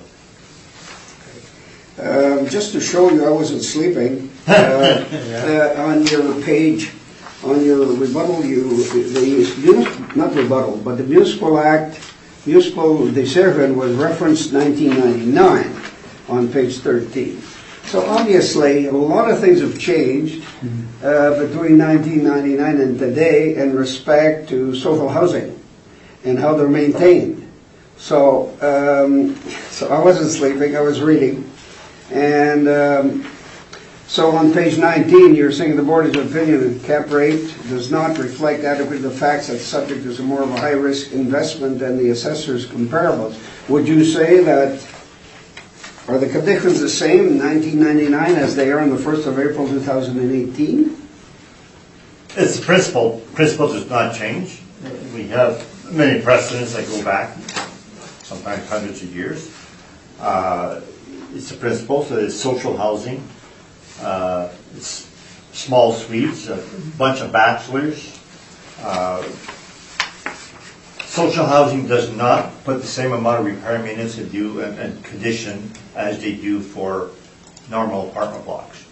So normal apartment blocks, they will try to get as much rent as possible, and we had one that was renovated as they went along, and they will not be renovating these like that. It, it, because it's subsidized rents, they don't want the public to, to say, well, we're paying high taxes to have really nice properties. So social housing, by definition, would have basic finishes. Um, The other question I had was um, on on that parking thing. I'm not sure I got the handle on it. So there's a different role, it's got 67,000 on it, it's additional parking. Um, So your argument is that the parking is needed to service this building, therefore should not, should be deducted because there's an assessment on it. Is, is my interpretation correct? Yes. Yeah, and that- that's what we normally do when you have a, a, a lot that's needed to service an existing building. We take the total value less the assessment. Obviously, we've got quite a difference between the assessor's 150 and your whatever uh, number of parking spots, so. Yeah, my aerial photo, page two, uh, relatively easy to count. Well, you have to count up to six. Usually you, usually you walk them, if I recall. I have in the past, yes, in the middle of winter, yes. Uh, But now, now we have these uh, nice aerial photos and you can uh, easily count. Uh, So I count 50 stalls, uh, uh, 60, and not 150 the assessor has. So a 1989 building falls in your 575 cap, and you're adding a premium of 100, of, of one point. The city, on your cap rate, page one, um, is at between 4.2 and 4 percent, correct? Um, For that kind of building? And the city's at 5, is it? Yeah, okay.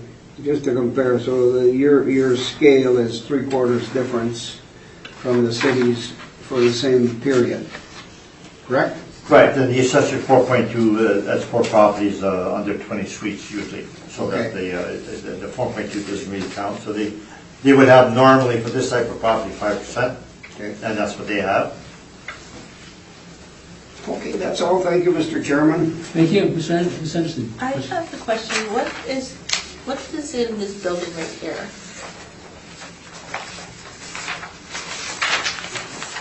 This one, right there. And it looks like, from the other, uh, from your page one, it kind of looks like, might be the entrance to a parkade. It looks like it might have some suites up above, I don't know, I can't tell.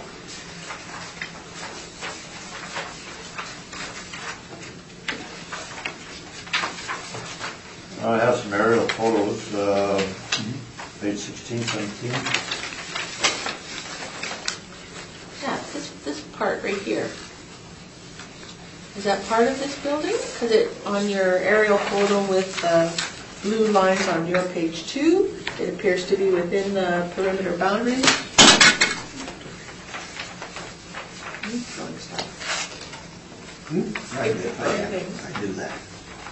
I get it. Uh, That I'm not sure, actually. uh, Not, not this property, or? I, no, it, it is, but I, um, I actually drove past yesterday, um, and there is covered parking in there, but it's, like, it's not a parkade, but there's just, it's not indoor parking, it's, Under cap. yeah, some. Ah, okay. I didn't count them. Okay. I Okay, wasn't there for work. okay. So there is more parking than Mr. Dupont is representing here at the moment. I think perhaps we might both have Somewhere between you? somewhere, yes. Okay, that works for me. All right, thank you very much. I think that's it. Okay, I don't have any questions, so um, we go on with item number four. Well, I just want to clarify a point of order, Mr. Chairman. Have we finished dealing with liability taxation and Well- classification of property? Have we we- done that? Well, the applicant hasn't uh, given us a license or anything else, so I think the rest of this case, we have to make a determination based on the Okay, so information we have. we still have to deal with We these have we have to three. deal with that. Okay, I just want to It make hasn't dealt with yet. Okay, We have to make a decision, okay, and I think that the evidence that we've got before us is what we have to use to make that decision. okay, that's fine. Thank you. Okay. So now we're on item number four, which is uh, 225 RDB. Oh, so summations, I can make summation argument? If you want to make summation argument, I guess I said ahead of time that any instances where submissions were requested, we let them be made. So Go ahead. Go ahead. Okay, I'm not gonna uh, uh, uh, I did send emails to the MHRC uh, in regards to this, and they uh, did reply to me, and I should have had that as part of my submission, but I I forgot. Okay, but this is not a summation, you're giving us, trying to give us other evidence right now. I- Yes. I'm allowing you to make a summation. They said they are a nonprofit. Uh, It's not uh, the Crown Corporation, but it's it's a nonprofit, they're not there for profit. In fact, any profit they they make from uh, selling lots, uh, uh, they apply that to uh, uh, nonprofit projects. So they they don't take out any money from out of the housing to give to government. And finish, you made your application, you gave us the evidence you had, and, you know, that's all you can do. So we have your evidence that was Okay, before us. so it's been established, it is a And we'll have to make, we'll have to make a consideration based on what the evidence we have, but it's, I'm not faulting you. You can only use the evidence that was provided to you, right? So you gave us what you had, and Okay. thank you. Okay? So, uh, So anyway, can we I- go on with RB My argument is that it- it- it's not necessary for, for MHRC to apply to get a license in order for the board to give it, uh, school exemption. Okay, Uh, That's not part of the legislation. The Legislation has not been given by, by the assessor, neither by myself, but they have the burden too. Uh, It's not necessary. Well, you know, that's your position, and we'll take ours. Uh, If you want to respond to that, Ms. Martins, I'll let you do that, because No. I I forwarded Mr. uh, Dupont a a submission, and you have the right to do so as well. No, thank you. Okay, you find it, it's fine. Okay, now we go on with four. Can we, can we take a break, Mr. Chairman? Mr. Darian, I'll never deny you the right to the break. No, I I usually like to stretch after an hour and a half. Okay, well, we'll take that stretch. We'll take uh, 10 minutes now. Okay? Thank you. Okay, we're back in session, and we'll now proceed with item number four, 225 RB Bay. Okay. Okay, This is file number 19-3669, row number 04-000-471-000. The assessed value is 9,217,000. Classification is 20, residential 2, with a liability status of taxable. There are four buildings, one to six stories. Um, they were built between 1965 and 1997 with 118 suites and 91 parking spots. On page two, we have our income value summary. We have 11 bachelor units, 68 one-bedroom units, 37 two-bedroom units, and two four-bedroom units. The average monthly rent per unit is $853.51. we've applied a 2.6% vacancy rate, a 58.5% expense rate, and a 5.3% cap rate, giving us our 9217000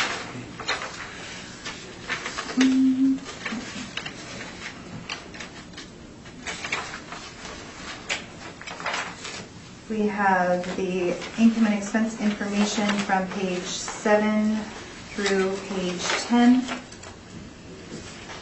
And a map with an aerial picture on page 11. Thank you. Thank you. Mr. Dupont, any questions?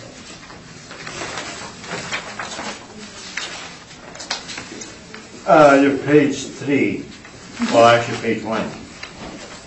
Uh, gross floor area that you have there, uh, that would include the uh, indoor parking that uh, has 91 suites, is that correct? Uh, yes, So when you do your comparison on page three, at uh, 1,028 square feet per suite includes the uh, parkade. yes. Just a little skewed. So do you know whether any of your comparables include uh, parkade or not? I do not.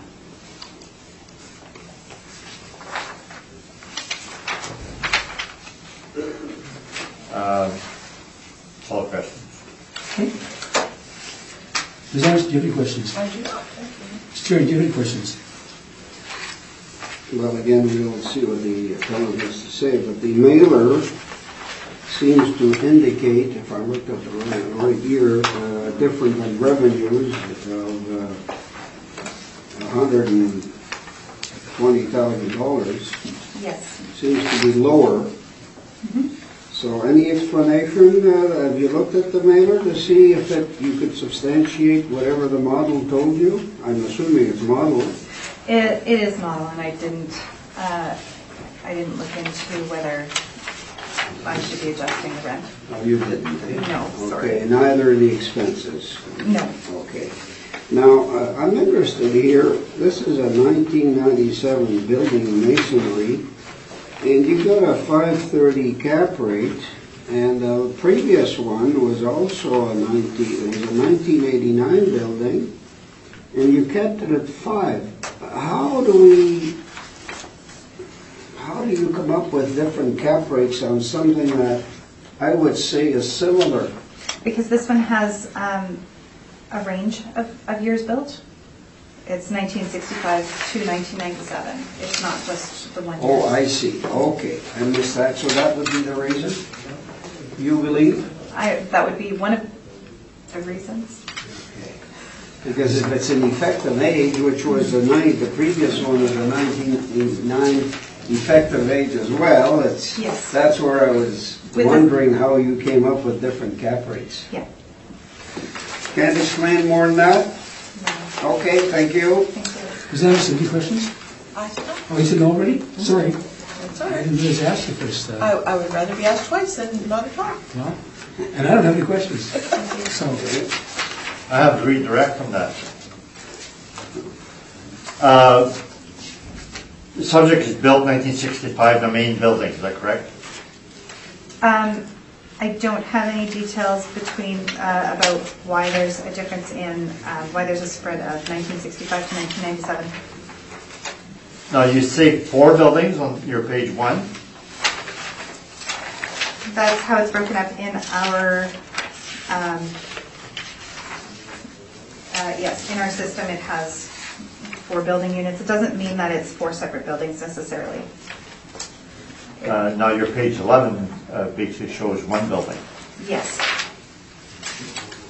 So is it possible that you- there was a little shed built for, uh, in 1997, and that's what you have for 1997? Um, I can't definitively say yes or no, but I, um, one of the things that our system does is that because indoor parking is treated differently, indoor parking will be treated as a separate, uh, will be listed as a separate building, but it's not actually a separate building, it's how we um, enter it into the system.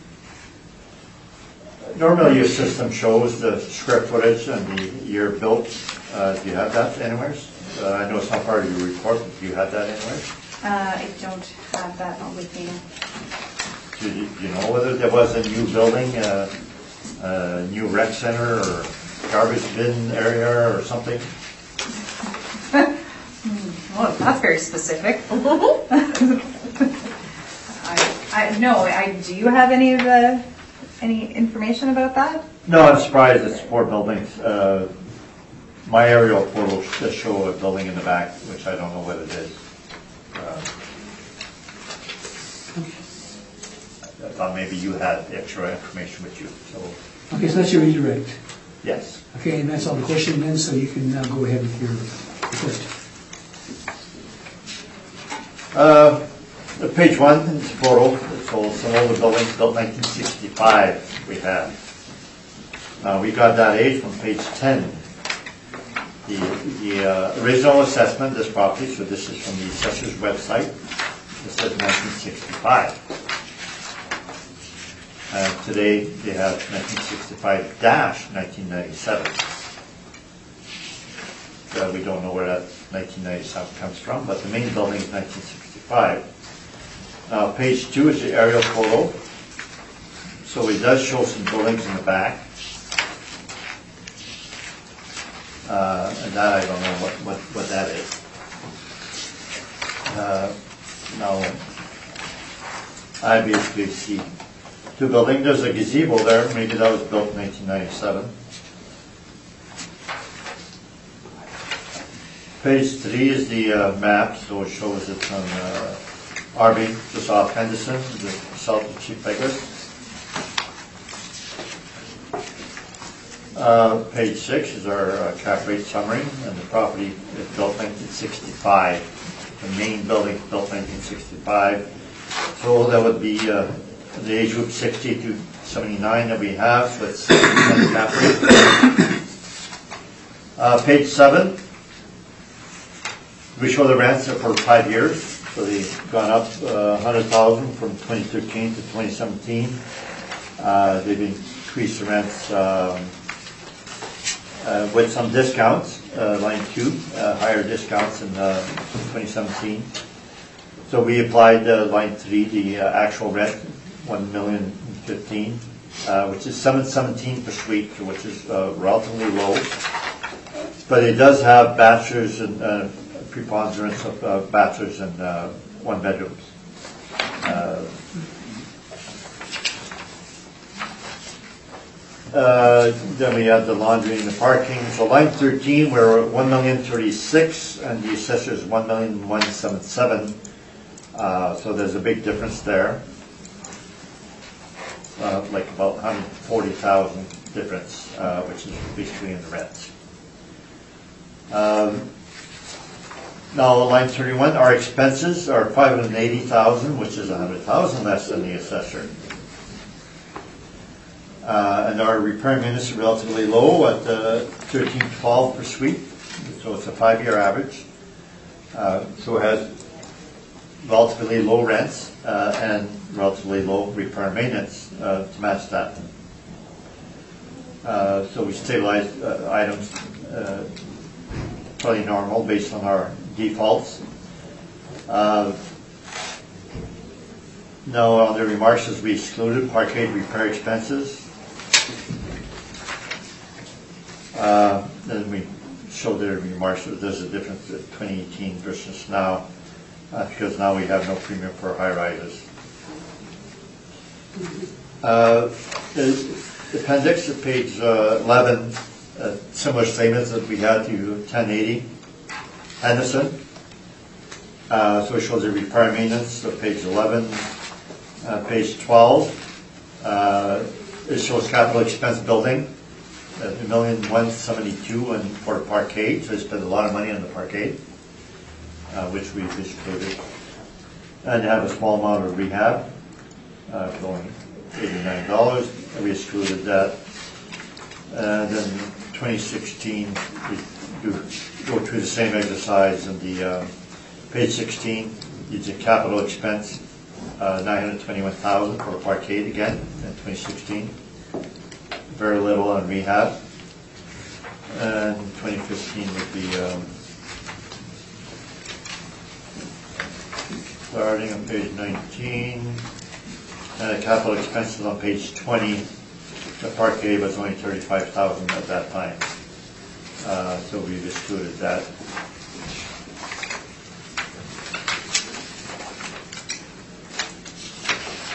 And 2014, page 24 was only 50,000 capital expense, of which we've excluded. Uh, So that, we put all the- that that data on our uh, page seven, so the repair maintenance uh, that we have stabilized is relatively low at 1312 suite, so that's my report. Comes to a value of seven million six hundred, much lower than the assessment. Uh, the difference in, in the rents uh, offset partly by lower expenses. Uh, we still have a lower NOI, and then the cap rate's a big difference. Thank you.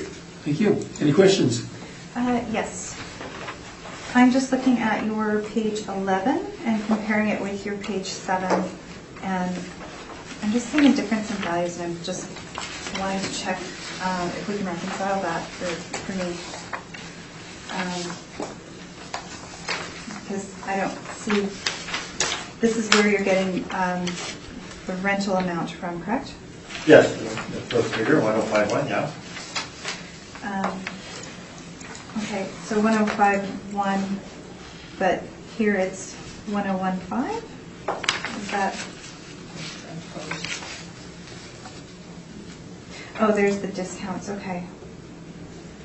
And then, I, because it looks like the discounts are included in here. It just seems like there's different numbers, I'm not sure. Well, the biggest and discounts we show in our spreadsheet, and and the reason uh, our line 13 is actually a little bit higher, uh, because we have the bad debt recovery line 6, 5546, uh, which is shown as under expenses somewhere. Oh, okay. Okay, so it just doesn't line up here, it's just in. But all the places? figures are there, right? Okay, thank you. Thank you.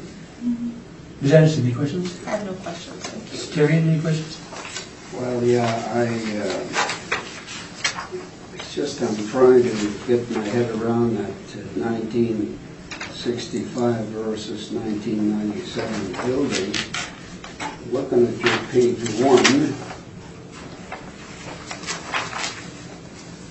like to say, but it looks like a pretty good- good building to me. Um, Have you been in there, uh, Mr. Uh?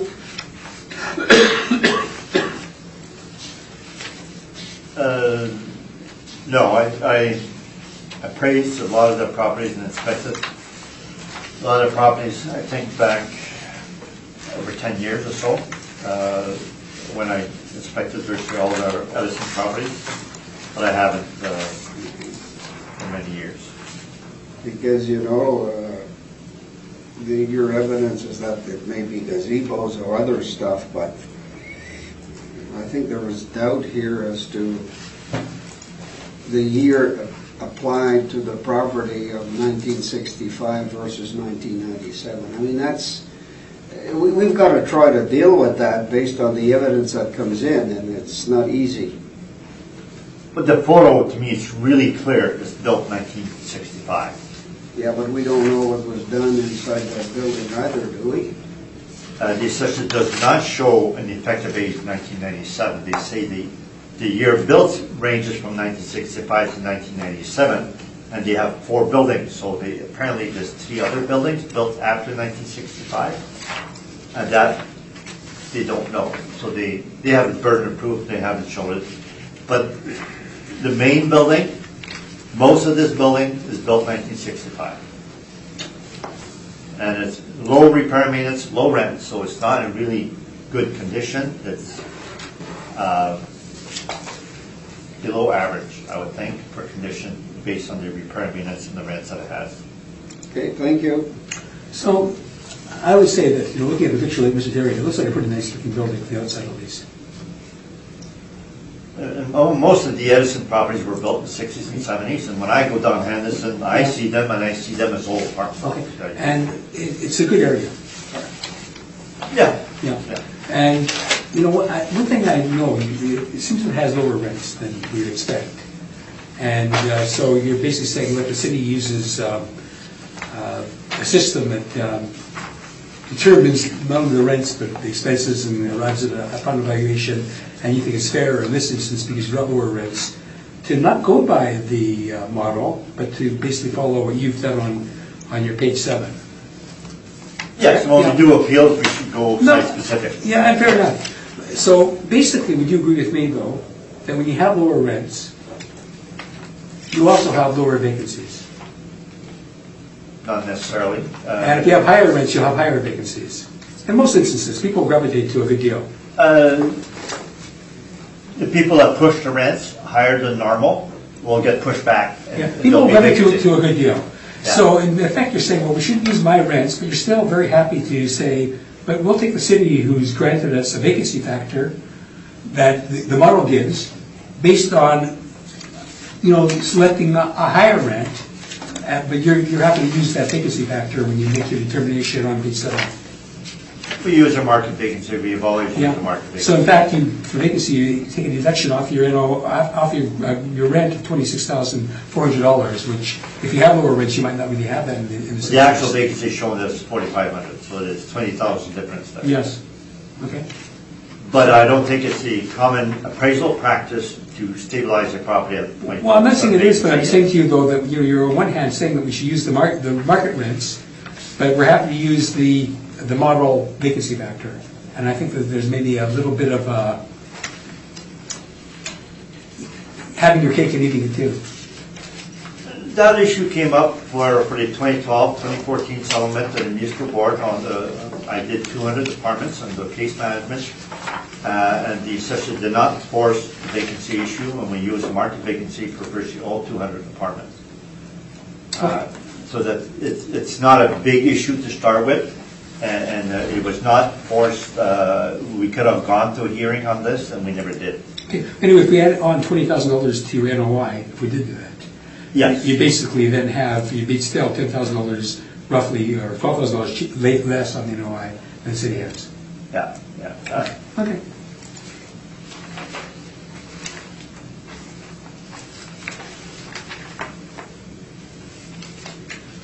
Thank you, answer my question.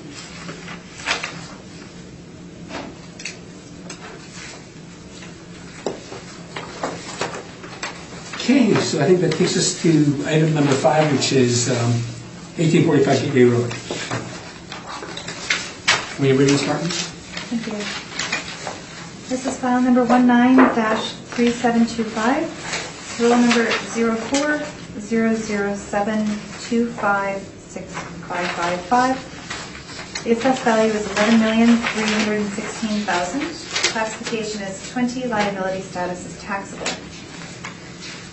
This is one apartment building with five stories, built in 2015 with 50 suites, 48 indoor parking spots, and 31 outdoor parking spots.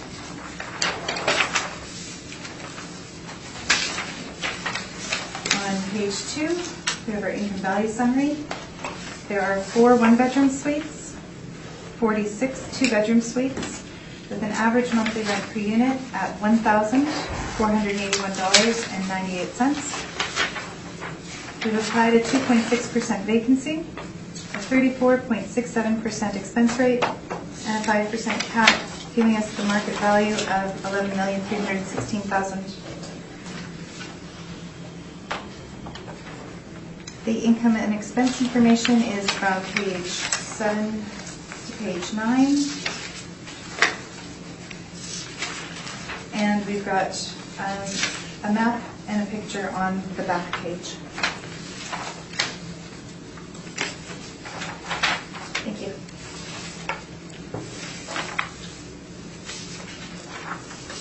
Thank you, Mr. Devon, any questions?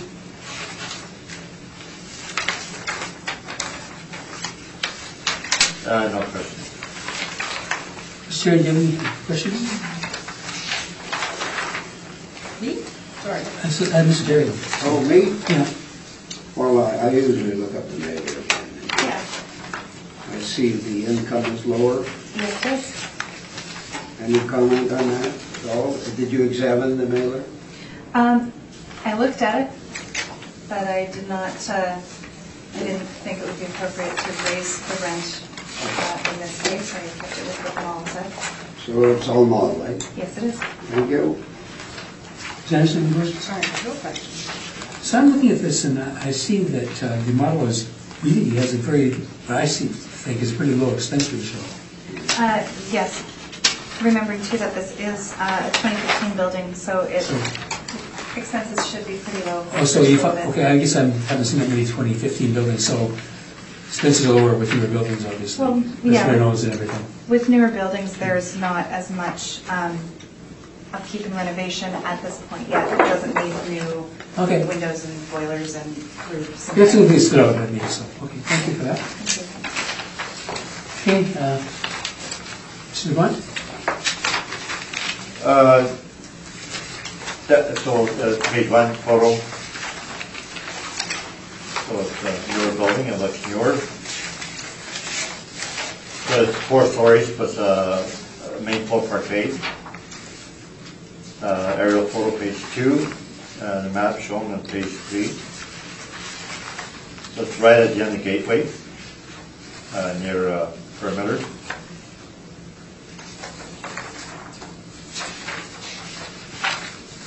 Uh, Because it's the uh, newer property, we have a cap rate five and a quarter.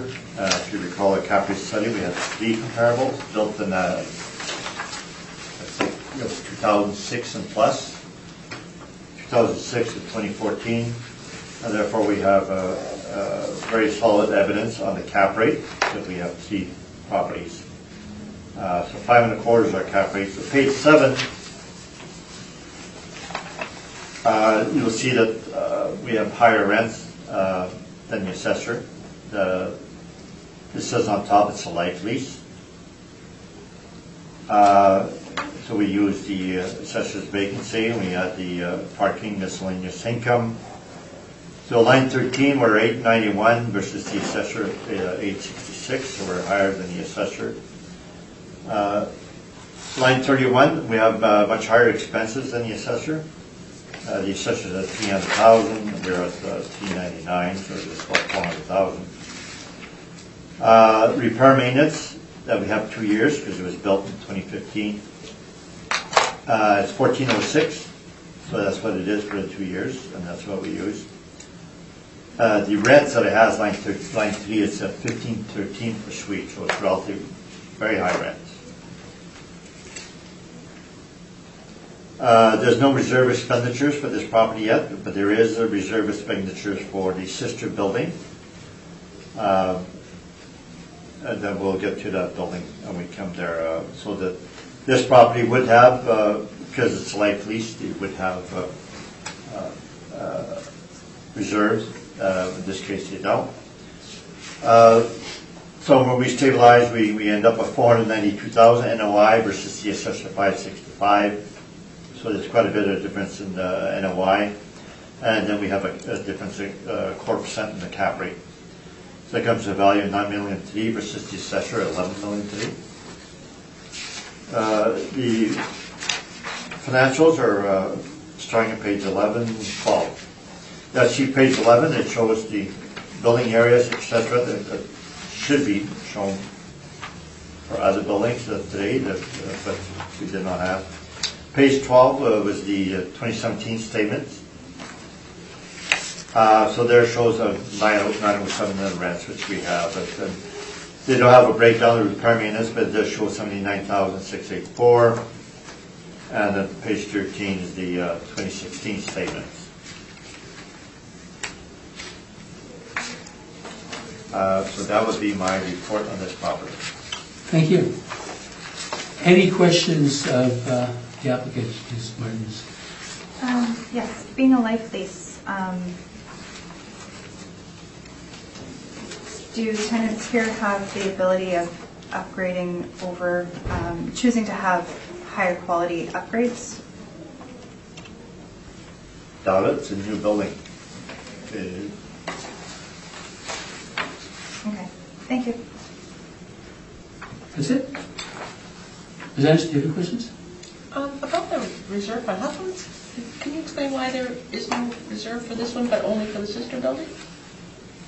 Uh, They haven't come to a point here uh, yet where they have to spend from the reserve, so they have no reserve expenditures. Uh, uh, The other one, uh, Are we dealing with that one today? Because I can reserve my question until then. oh, the other building was built 2010, that's why, it's five years difference. Okay.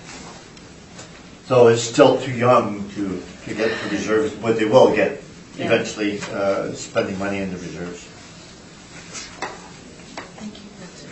Hey, Mr. Terry, any questions? Obviously, on a life lease, they've put in money to reduce their rents as well, but you've gone market as far as you're concerned on the rents? Because when, when they go, uh, when you go on a life lease, obviously, the uh, investment made by the, the tenant is, uh, reduces the rent to be charged. No, the uh, life lease does not specifically say the, the reduce the rents. The life lease says the landlord cannot increase the rents beyond what the expenses are. That's the essence of a life lease. Yeah, except if, if the, the, um, if fifty thousand is provided by each tenant, multiply that so they don't have to borrow that money, that reduces the rent. I mean, there's, that's the way it works.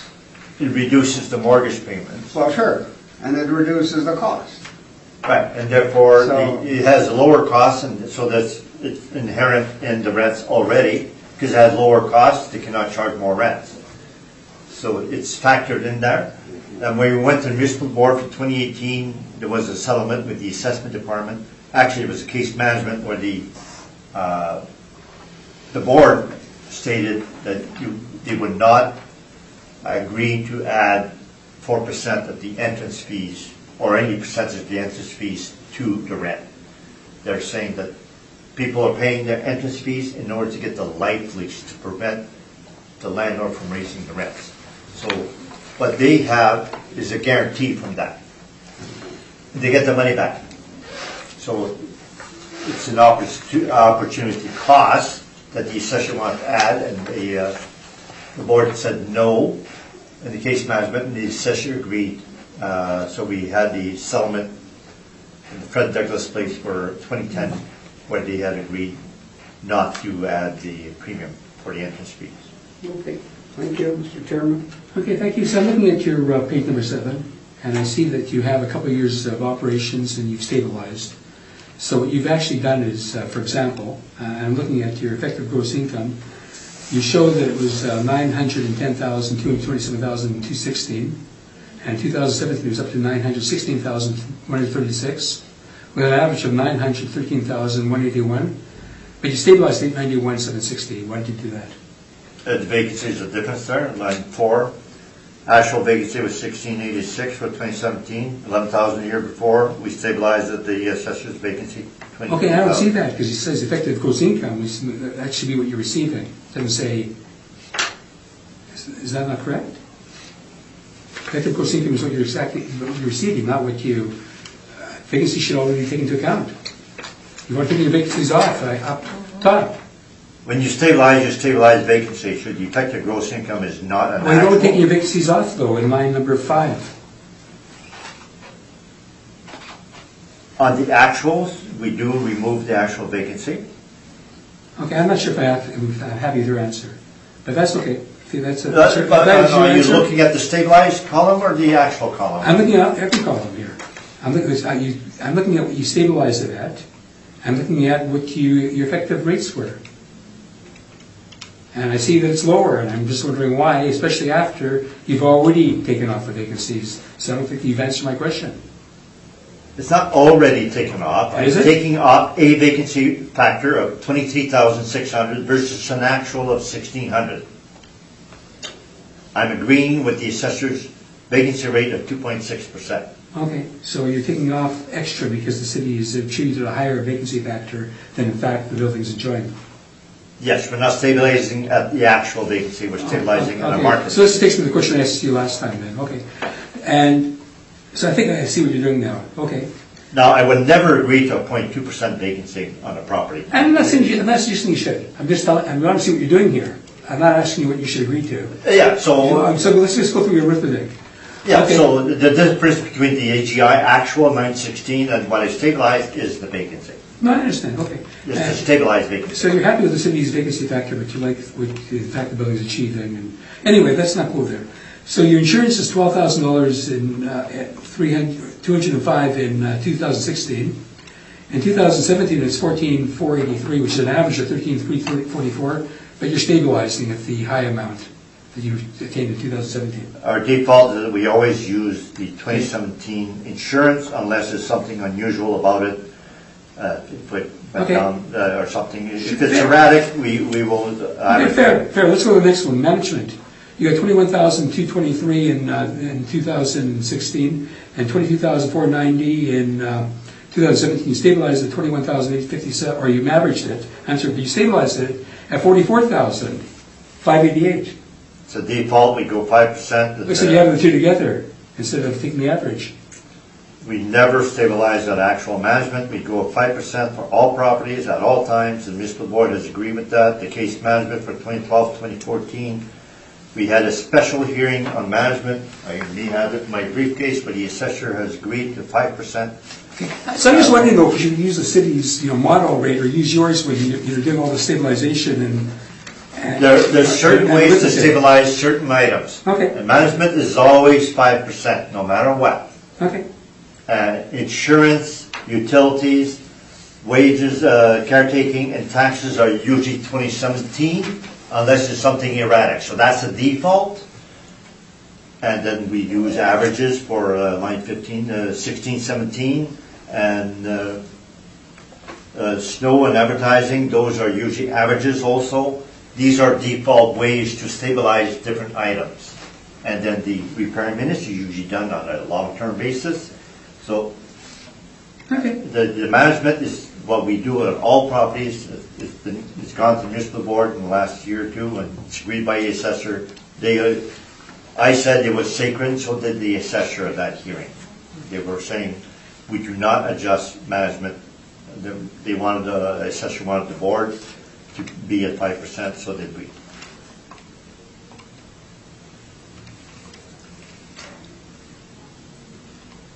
And, okay, so I see, so repair and maintenance you've actually averaged, which is fair. Um, Okay, thank you, answer my questions.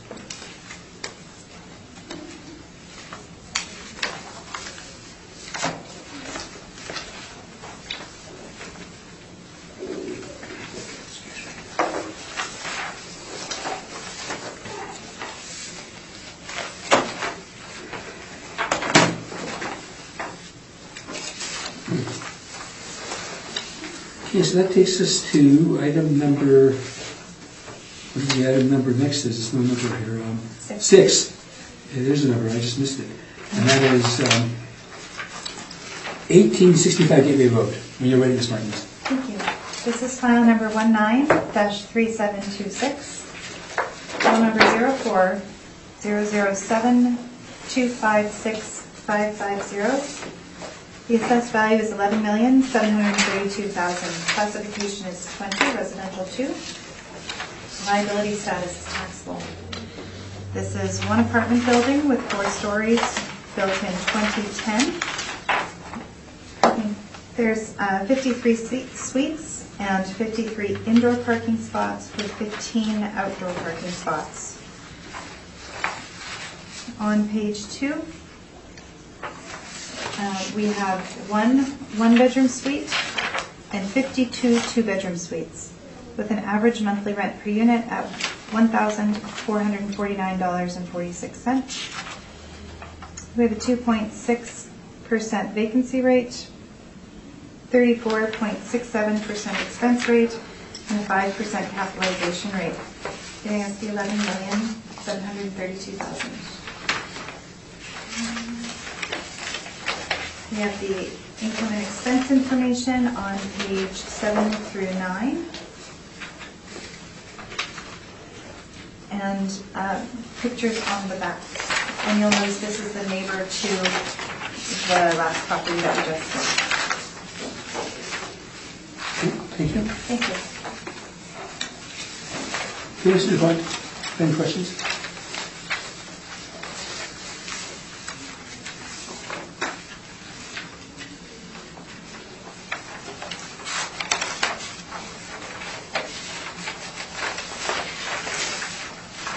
Uh, no questions. Mr. Terry, any questions? Yeah, I just again, looking at the mailer on page nine. um, Again, you haven't looked at this, have you? Um, I took a glance, but I didn't think about changing anything with the, um, it's, residential rent is somewhat higher than ours, but after deductions and everything, it, uh, Well, it's, it's, it's a reasonable comparable. Your, uh, my uh, review of page nine is nine fourteen eight, that's the end revenue versus your eight ninety-seven, which is the after deductions for vacancy and everything. Yeah, So you seem to be a little lower in this case than the mailer. yeah, and that's when we do mass appraisal, that's, Mhm, Up and down. yeah. Okay, that's all I have, thank you. Senator, any questions? I have no questions, thank you, sir. Okay, and, uh, you know, my only question is that I see again, we have a very low expense ratio, and this is a bit of an overview of it. When does the city's model start, start picking up, you know, higher upkeep costs? I would love to give you a direct answer on that, Yeah, but I can't. okay, we at five years and see the cut off the side. It's, uh, yeah, it, looking at it, it would be good to watch to see when the Yeah. expenses. Because I think it's reasonable to think that a building that's five years older would have higher maintenance expenses, you know, so. But we'll let Mr. Dupont deal with that, because I'm sure he will. Okay, Mr. Dupont, you can take us through the hearing. Can I, uh, be direct? Uh, On the square footage, Well, that's new evidence, but you know what, I'll let you do it, because you did not asking questions the first time, so you're not redirecting, I'll you ask your questions out of order. Uh, Yes, so the, your photo on page uh, 10 uh, shows the, the building, and uh, every floor seems to be the same, and there doesn't seem to be an extra building, except maybe that little thing in the back. Uh, okay, Now, your page one, the plan area is 26,000, and it's four stories. So four times 26 would be more like 104,000. And how come you show only gross floor area of 80,000? You know why?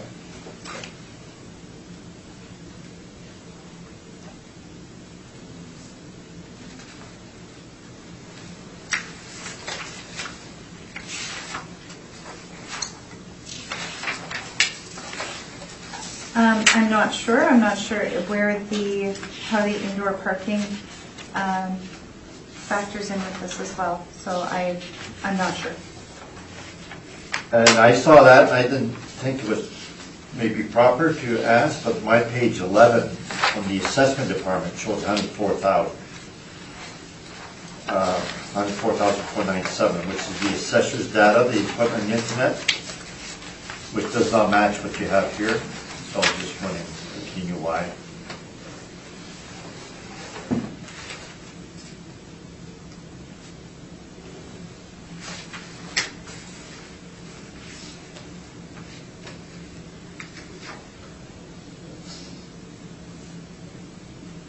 Um, I'm not sure why we've got less space than, it could be something to do with the indoor parking, but I'm, Right, so it's, gross floor area could exclude the 80,000, could exclude the, the basement area, which is parking.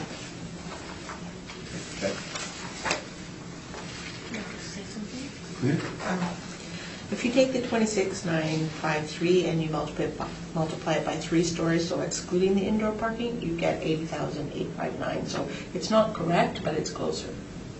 Yeah, that looks like it's just excluding the indoor parking. Thank you.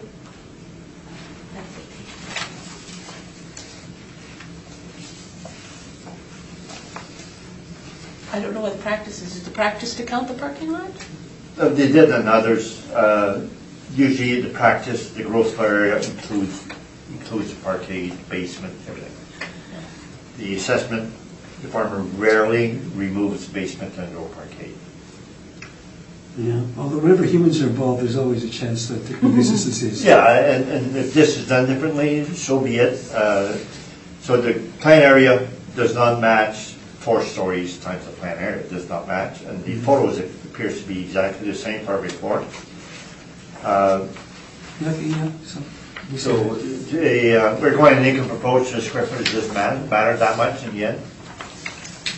So if you go, I can go my report now? Please. Okay.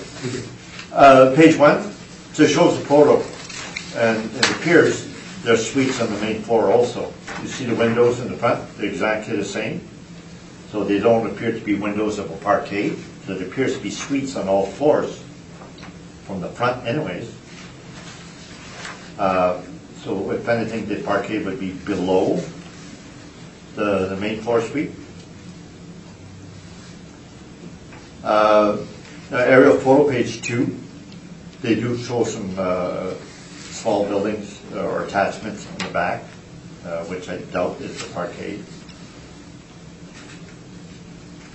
Uh, Now nevertheless, we- we relied on on, uh, the assessors, um, what they had on their website, page 11, 104,497, and that's what we put on the spreadsheet on page seven. So, uh, top of page seven, middle of the page, uh, we show 104.97 uh, from the assessor's website. So page three shows the uh, uh, map, close-up map, so at the China Gateway, again, same as the other one. Uh, So page seven, uh, so this is uh, not necessarily a sister building. Uh, Has different suite mix and the number of suites, similar suites, I believe the other one was 50 suites. Uh, But it was built 2010, so it's, uh, the other one was five years newer, and this one has lower rents per suite, and they, they show the rents, line one and three after the discounts. Uh, So that the uh, line three, we're 912,000 versus the assessor 921, so we're close. That's 1434 per suite. Uh, Then we had the uh, miscellaneous income, Uh, so line 13, uh, we're 892, the assessor's 897, so we're very close. There again, we stabilize at 2%, 2.6% vacancy, same as the assessment department, uh, the market vacancy. Uh, So then for expenses, uh, we stabilize as per default. So we go actual 2017 insurance, actual utilities for 2017, actual caretaker, actual taxes. These are all stabilized at the 2017 unless there's something erratic about them.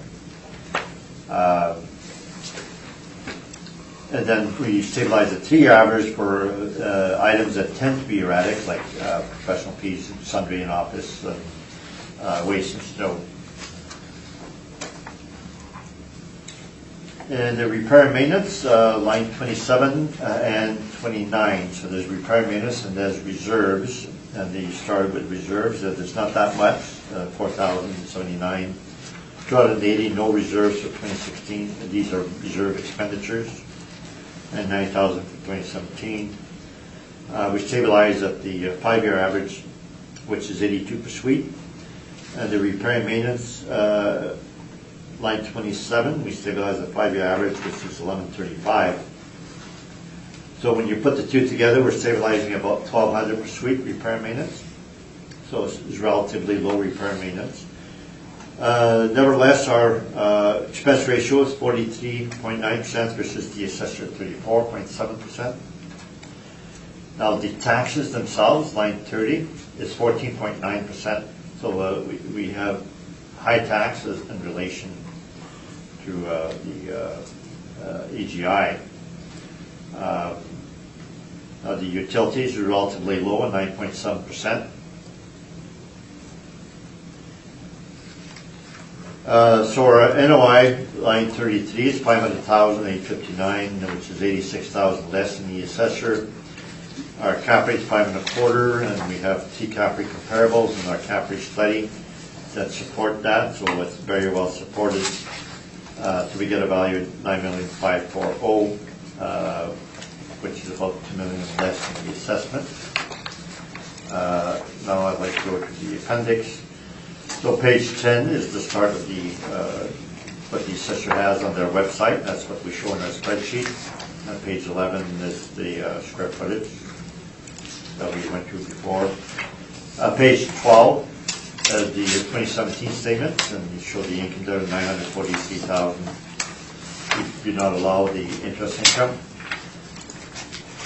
Uh, It shows the waste and snow and the repair maintenance, uh, caretaker, etc. cetera.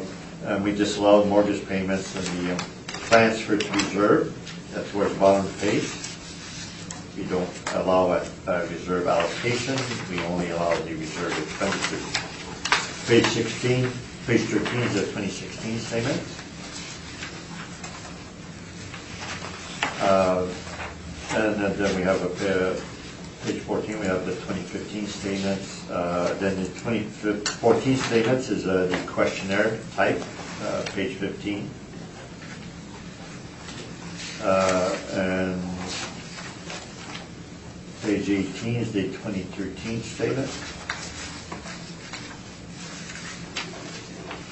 Uh, Page 21 is the general ledger uh, for reserves. Uh, And then we we have uh, 2013, uh, 4098, which is the, uh, the line, uh, under- underneath the line. Replace microwave with TED. Uh, 2014 is shown, uh, this- they have the dates, uh, and it it explains what it is, unit T20 accessory vinyl flooring, so that you replace the floor already. Uh,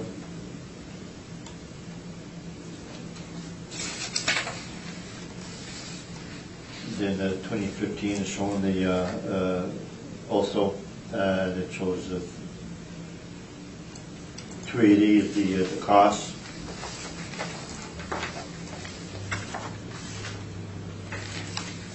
And then uh, page 22, 2017 is 9388.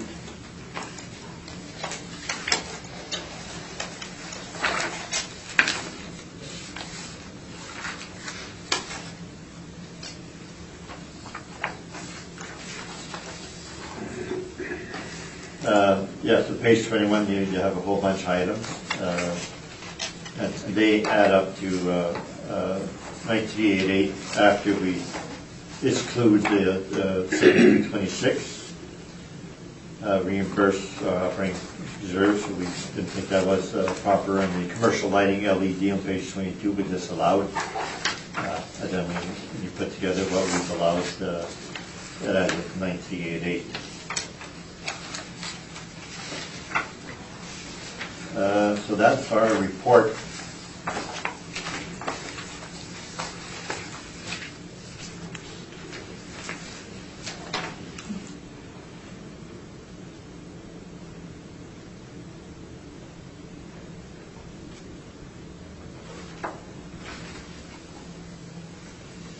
Okay? Yes. Thank you. Any questions?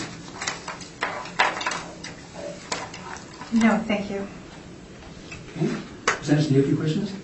Maybe It may be insignificant, and just maybe, uh, could you speak to uh, your line 10 and then in the remarks, the plus minus for parking, they exchange between the two buildings, or does it show up in income for one or the other?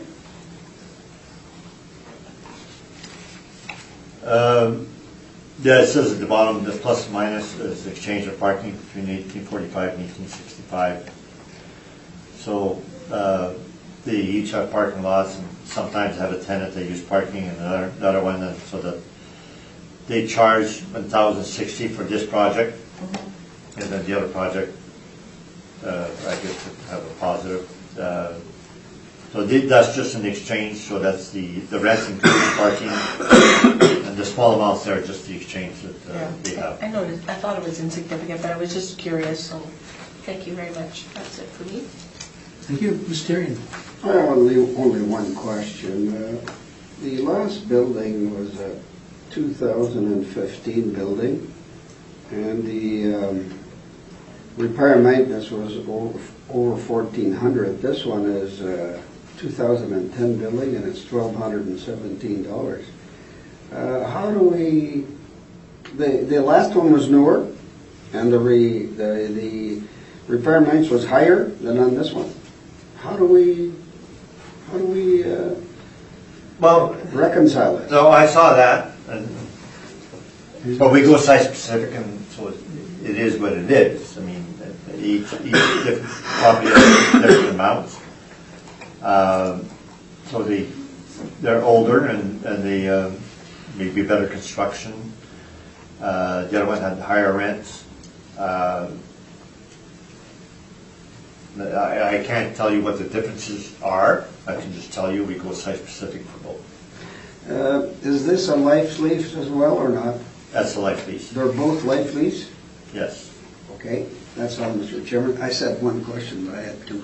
That's okay. And you know what, I would actually, the same question I asked you last time, I got the answers last time, so I'm not gonna revisit it. So, Okay. we go on to seven, which is three Sandford Fleming Road.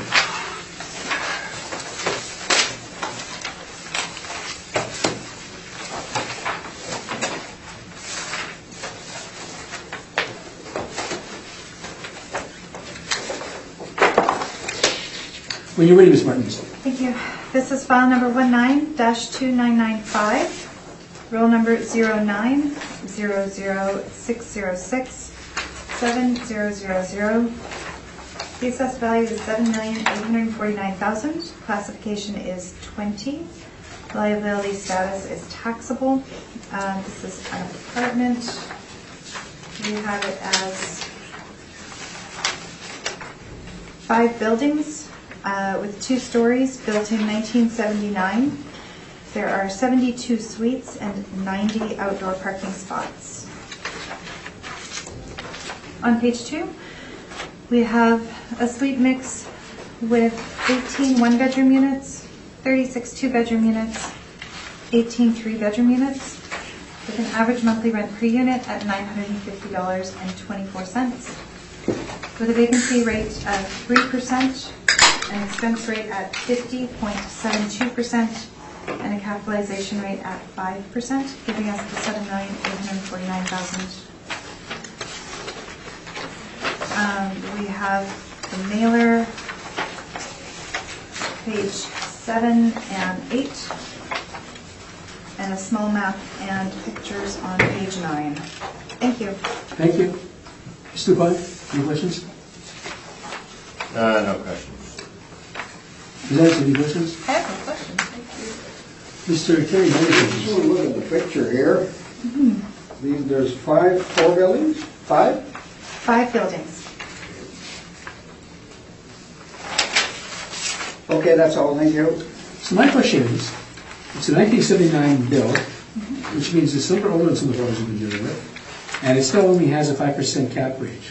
And how does it get a 5% cap rate when we've had newer buildings that you've had today that have 5.3 something? Um, there's obviously different things that go into it, whether it's um, What are the things that, what are which things the though? quality, the, the area, the age is all, all factors into it, so it's model.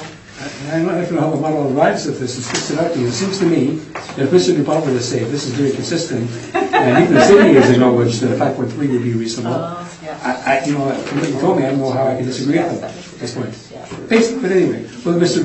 We'll let Mr. Duvall make those arguments. Yeah, Let's see what he has to say. But it- Mr. Duvall? Uh, they're still talking, so uh, are we finished? We're finished, you can now proceed. Mr. Okay, so page one, photos. And this is a photo we should look at. Uh, These are garden style apartments, Yeah. uh, wood stairs, wood balconies, uh, asphalt roof, Fireplaces, Eh? Fireplaces looks like? Oh, the fireplaces, uh, ex- usually exterior, um, uh, storage. Uh, These are my least favorite properties. If I were an apartment investor, I would avoid those properties, uh, because they have high repair maintenance, and therefore they're, uh, high maintenance properties. Uh, So the page two uh, aerial photo shows the, uh, uh, have all these buildings, there's five buildings, shows more roofs, etc., more parking. It's, uh, Page three, it shows the map, it's off Plessis Road, north Kildare.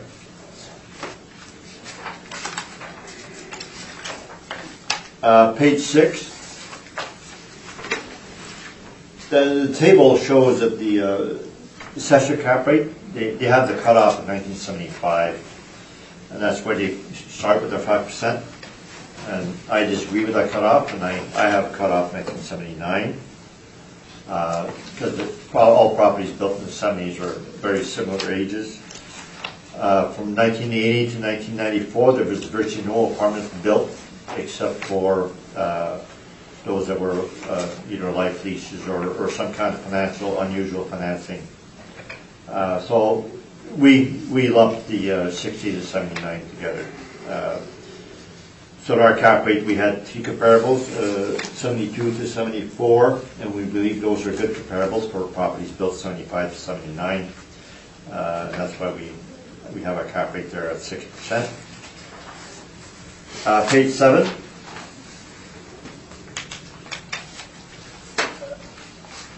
So property shows, built nineteen seventy-nine, the, the rent is relatively high at nine thirty-three per suite. Now, you should look at the suite mix above, 18 one bedroom, and then uh, thirty-six two bedrooms and 18 two bedrooms. So the, as a, a high suite mix above two, two bedroom on average. Uh, well, the T and the, the one bedroom, I guess, cancel each other, so it's, as if they had like two bedrooms for all of them. So nine thirty-three, uh, is relatively high, but part of that is due to their suite mix. Uh, the other part, I guess, would be due to the high repair maintenance that they're spending there. Uh, the actual vacancy shown line four, actual vacancy, two point three percent, we went with the assessor's, uh, vacancy at three percent. Line thirteen, we're at eight oh six and the assessor's at seven ninety-six. Uh, Expenses, uh, we're stabilizing the same as usual. We don't have a breakdown of the utilities. and We went with the actual utilities for uh, the stabilization. Uh, The, um, the uh, wages and benefits, line 18, i- is shown there on line 18 instead of caretaker, uh, because it could include some administration, et cetera. Uh, These large projects would include uh, caretaking and uh, leasing office also. Uh, Nevertheless, we went with site-specific uh, wages and admin.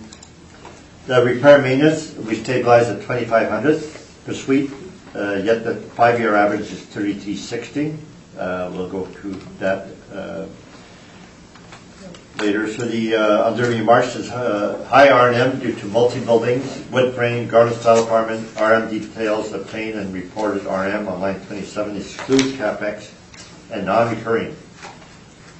Each suite has their own washer and dryer and hot water tank, so that's more repair and maintenance for those items because they have more appliances to, uh, for them to maintain and to replace as well as having all these wood services. So these are very high maintenance properties. Uh, uh, Before we go, well, yeah, I guess we'll go to the appendix.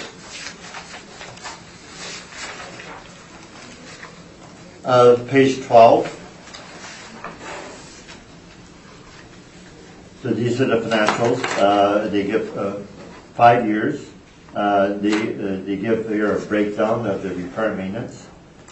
Uh, And I have some notes in some of them, so that the, uh, under appliances, the uh, 2017 is 119 per suite. If you recall my repair maintenance study, we had data that was uh, 167 per suite would be the maximum, and you see the uh, prior years are less than the 8560, so they're below the, the, uh, the maximum. The uh, paint was 271 per suite the one year, not 27 per suite, sorry. Slash, uh, then I have comments, it's low, so they have uh, fairly low uh, painting there. Uh, Major improvements, they have building exterior, you can see that, every year 64, 35, 36, 76, 68. This is because it's a wood frame building, Uh, so that's part that uh, they have in excess of what the normal apartment block would have, or, or a high-rise that's masonry. Uh, The and stove is shown there, 170 suite. Uh, The hot water tank, we allow that because the, each suite has a hot, uh, hot water tank. And so that's a recurring expense. And does one high year, 32,000 versus other years at 3 to 9,000, so we allowed 6,000 for that year. Flooring carpet, it shows that the 397 per suite for 2015, 242 for the other years, 252 for the other years. So that overall, it's okay because it's below the maximum. Uh, Parking lot, we allow 10% of the 51,000. And the landscaping, 29,000 one year, we allowed 5,000. So we did the adjustments at the bottom, and it comes at 205, 218, 290, and that's what we would show on our page seven. Uh, 205, 218, 290 is shown on page seven.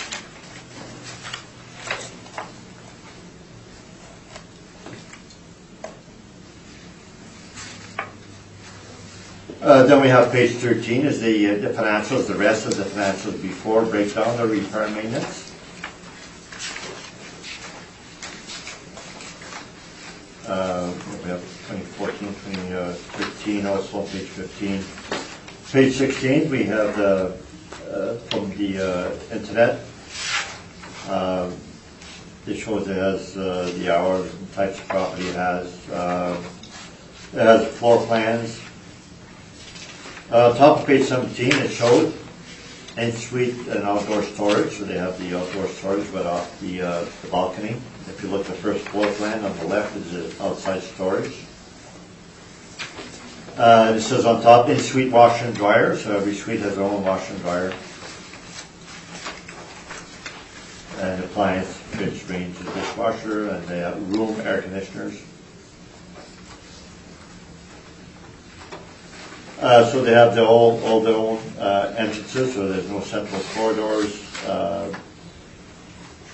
and, and it shows the, the, the hot water tanks and kitchens, et cetera. Uh, page nineteen, so it gives you a, uh, uh, better view of the exterior, you can see the, uh, the end there needs painting, near the roof, the gable, Uh, page twenty, we have a close-up of, of of the, uh, uh, suite layout. and the bottom right, it shows the laundry, the washer and dryer, with the hot water tank, bottom right. So these are appliances that have extra, they have an indoor storage right in the middle. Uh, and the other plans would be showing the same thing, storage with the, uh, washer and dryer, hot water tank. Uh, the repair maintenance study, if you go page eight, we do have four other properties that are garden style. Now, uh, five Lake Crest, the second property there, sorry, uh, you have to get it first.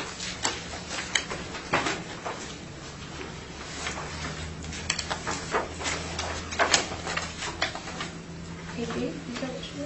Page eight? is that- Page eight, yeah.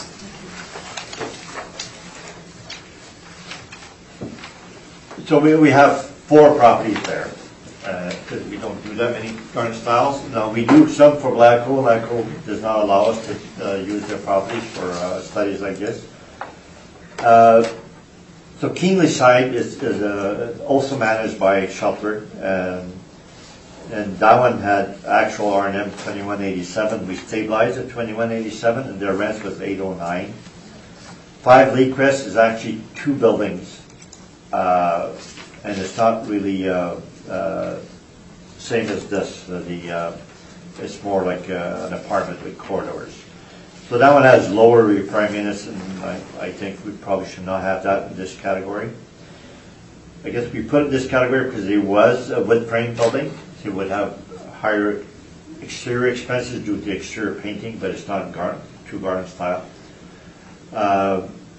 So the other two buildings, uh, Salt Park and uh, Allegheny, uh, Salt Park has 2,400 uh, repair units actual, that's what we stabilize at. And Allegheny is uh, the, uh, from, uh, that's Rancho, or Falco Rancho. That one was 2938, we uh, maxed it at 2,500. Uh,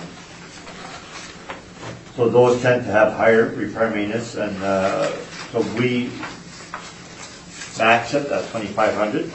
Uh, Other properties, uh, the, the the apartments, uh, the walk-ups and the high-rises, we tend to max at 2,000, but these pro- type of properties, we max uh, 2,500.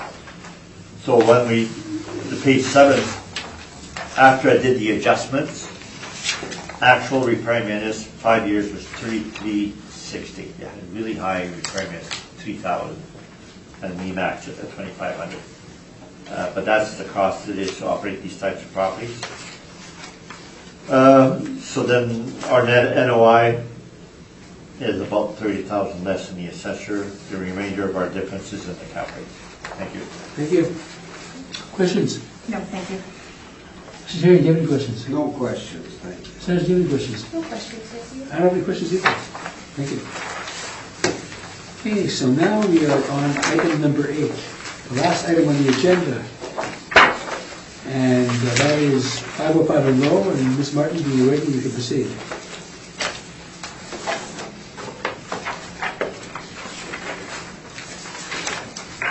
This is file number 19-3681, roll number 020410000100.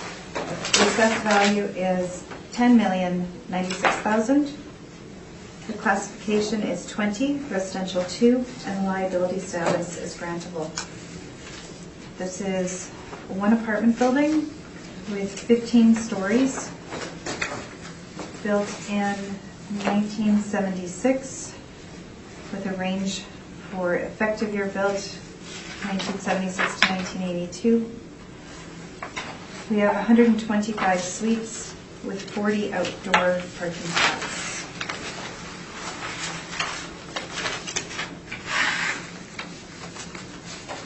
For the suite mix, we have 96 bachelor units, 28 one-bedroom, and one two-bedroom.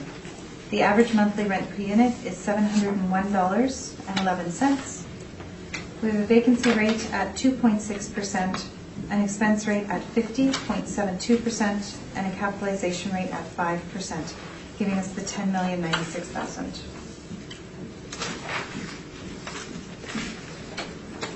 We have income information on page seven and eight. Thank you. Thank you. Mr. Pine, any questions? No questions. Ms. Anderson, any questions? I, um, uh, no questions, but can we, No, we'll move that. I have no questions, thank you. Mr. Any questions? No questions, thank you. Yeah, my question is the same as we had before. Again, you see a older building uh, with a five percent cap, and and you- I guess last time you answered as best you could. I guess that's the same answer you have for this one. Um, well, I think this one, because there is uh variation in the effect of your built, so Yeah. that might be one of the issues that, uh, or one of the things that influences it. Okay, well, if that's the computer, should bring it here. to to the others. Yeah, that'd be Yeah. awesome. Okay, thank you. Thank you. Commissioner Vaughn. All right, the application is for a value uh, classification liability, very similar to 165 Donwood. If you recall, I had an appendix, extra appendix for both properties. Uh, So we had of data showing that uh, Board of Revision and Municipal Board given uh, cap rate premium for social housing. Um, So photo, page one. Uh, The high rise, uh, Munroe, page two is aerial map. Uh, Page three shows the, uh, where it is. West of Raleigh. Uh, Page six, for cap rate, it's built 1982. So our base cap rate is uh, 5.75, based on our cap rate study. Then we add a site-specific premium, 1%, to account for uh, added risk for budget housing. Low-income tenancy, basic finish, small suites, limited parking. Uh, Page 10 is what we had from the uh, website, and it didn't show the, the uh, suite mix. 125. So my page seven does not show suite mix. My page seven doesn't show the amount of parking. But as that's shown on the uh, first page of the assessor, has 40 outdoor parking. So if you want to pencil that in on page seven, on top, where it says outdoor is, it's blank, it says 40. So it has 40 stalls uh, for 125 suites, so it's slow parking. Uh, On top on page seven, I don't show the suite mix, but that's for the assessor on page three. That's 96 bachelors, 28 one-bedroom, and one two-bedroom. We did have the square footage, 84,000, and when you divide by the suite, it's 674 per suite. And that includes the corridors and the lobbies and all that, so that it's very small suites. So we end up agreeing with the assessor's rents, which is seven oh one per suite. That's relatively high, however, it's difficult for us to get comparables, so therefore we accept the assessor's comparable uh, market rents. Uh, We accept their expenses also. Um, But there again, I believe their rents are high to start with. Uh, Nevertheless, uh, we have the same NOI as the assessor, we don't dispute it, and we dispute the cap rate. Uh, And therefore, we have the base 5.75 with the 1% premium, uh, 6.75, so the difference in cap rate brings the value to 7,478, uh, about 25% reduction. Now, I do say the remarks, inferior locations besides Elmwood Industrial Park.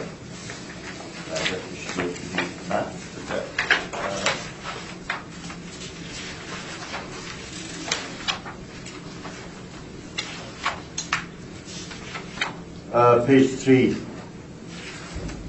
right off Watt, and if you see it to the right, it says JELD-WEN of Canada. If you recall, there's a huge building there for a window manufacturer. Uh, So that's the Elmwood uh, Industrial Park. And then it has Price Industries and Graphic Packaging, These- that's all industrial. Uh, And I have photos, I guess, in the back. Uh,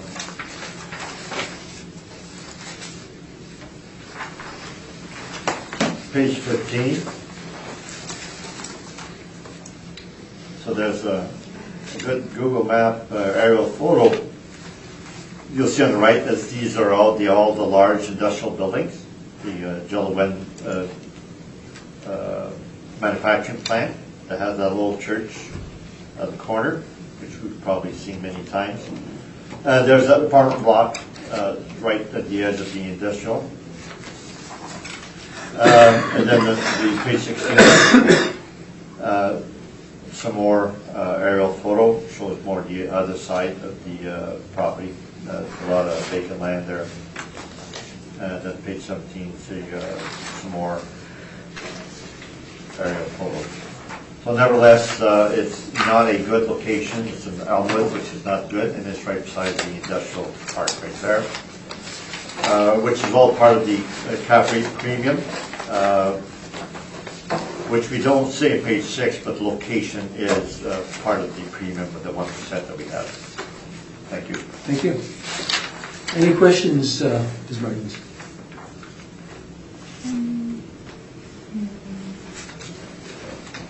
No.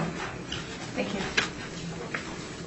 Mr. Terry, any questions? Uh, Just the one on page seven, I was looking at the bottom on the right, you're saying five seventy-five plus oh five plus point five for basic finish. I'm assuming that comes up to seven, uh, to six and a half.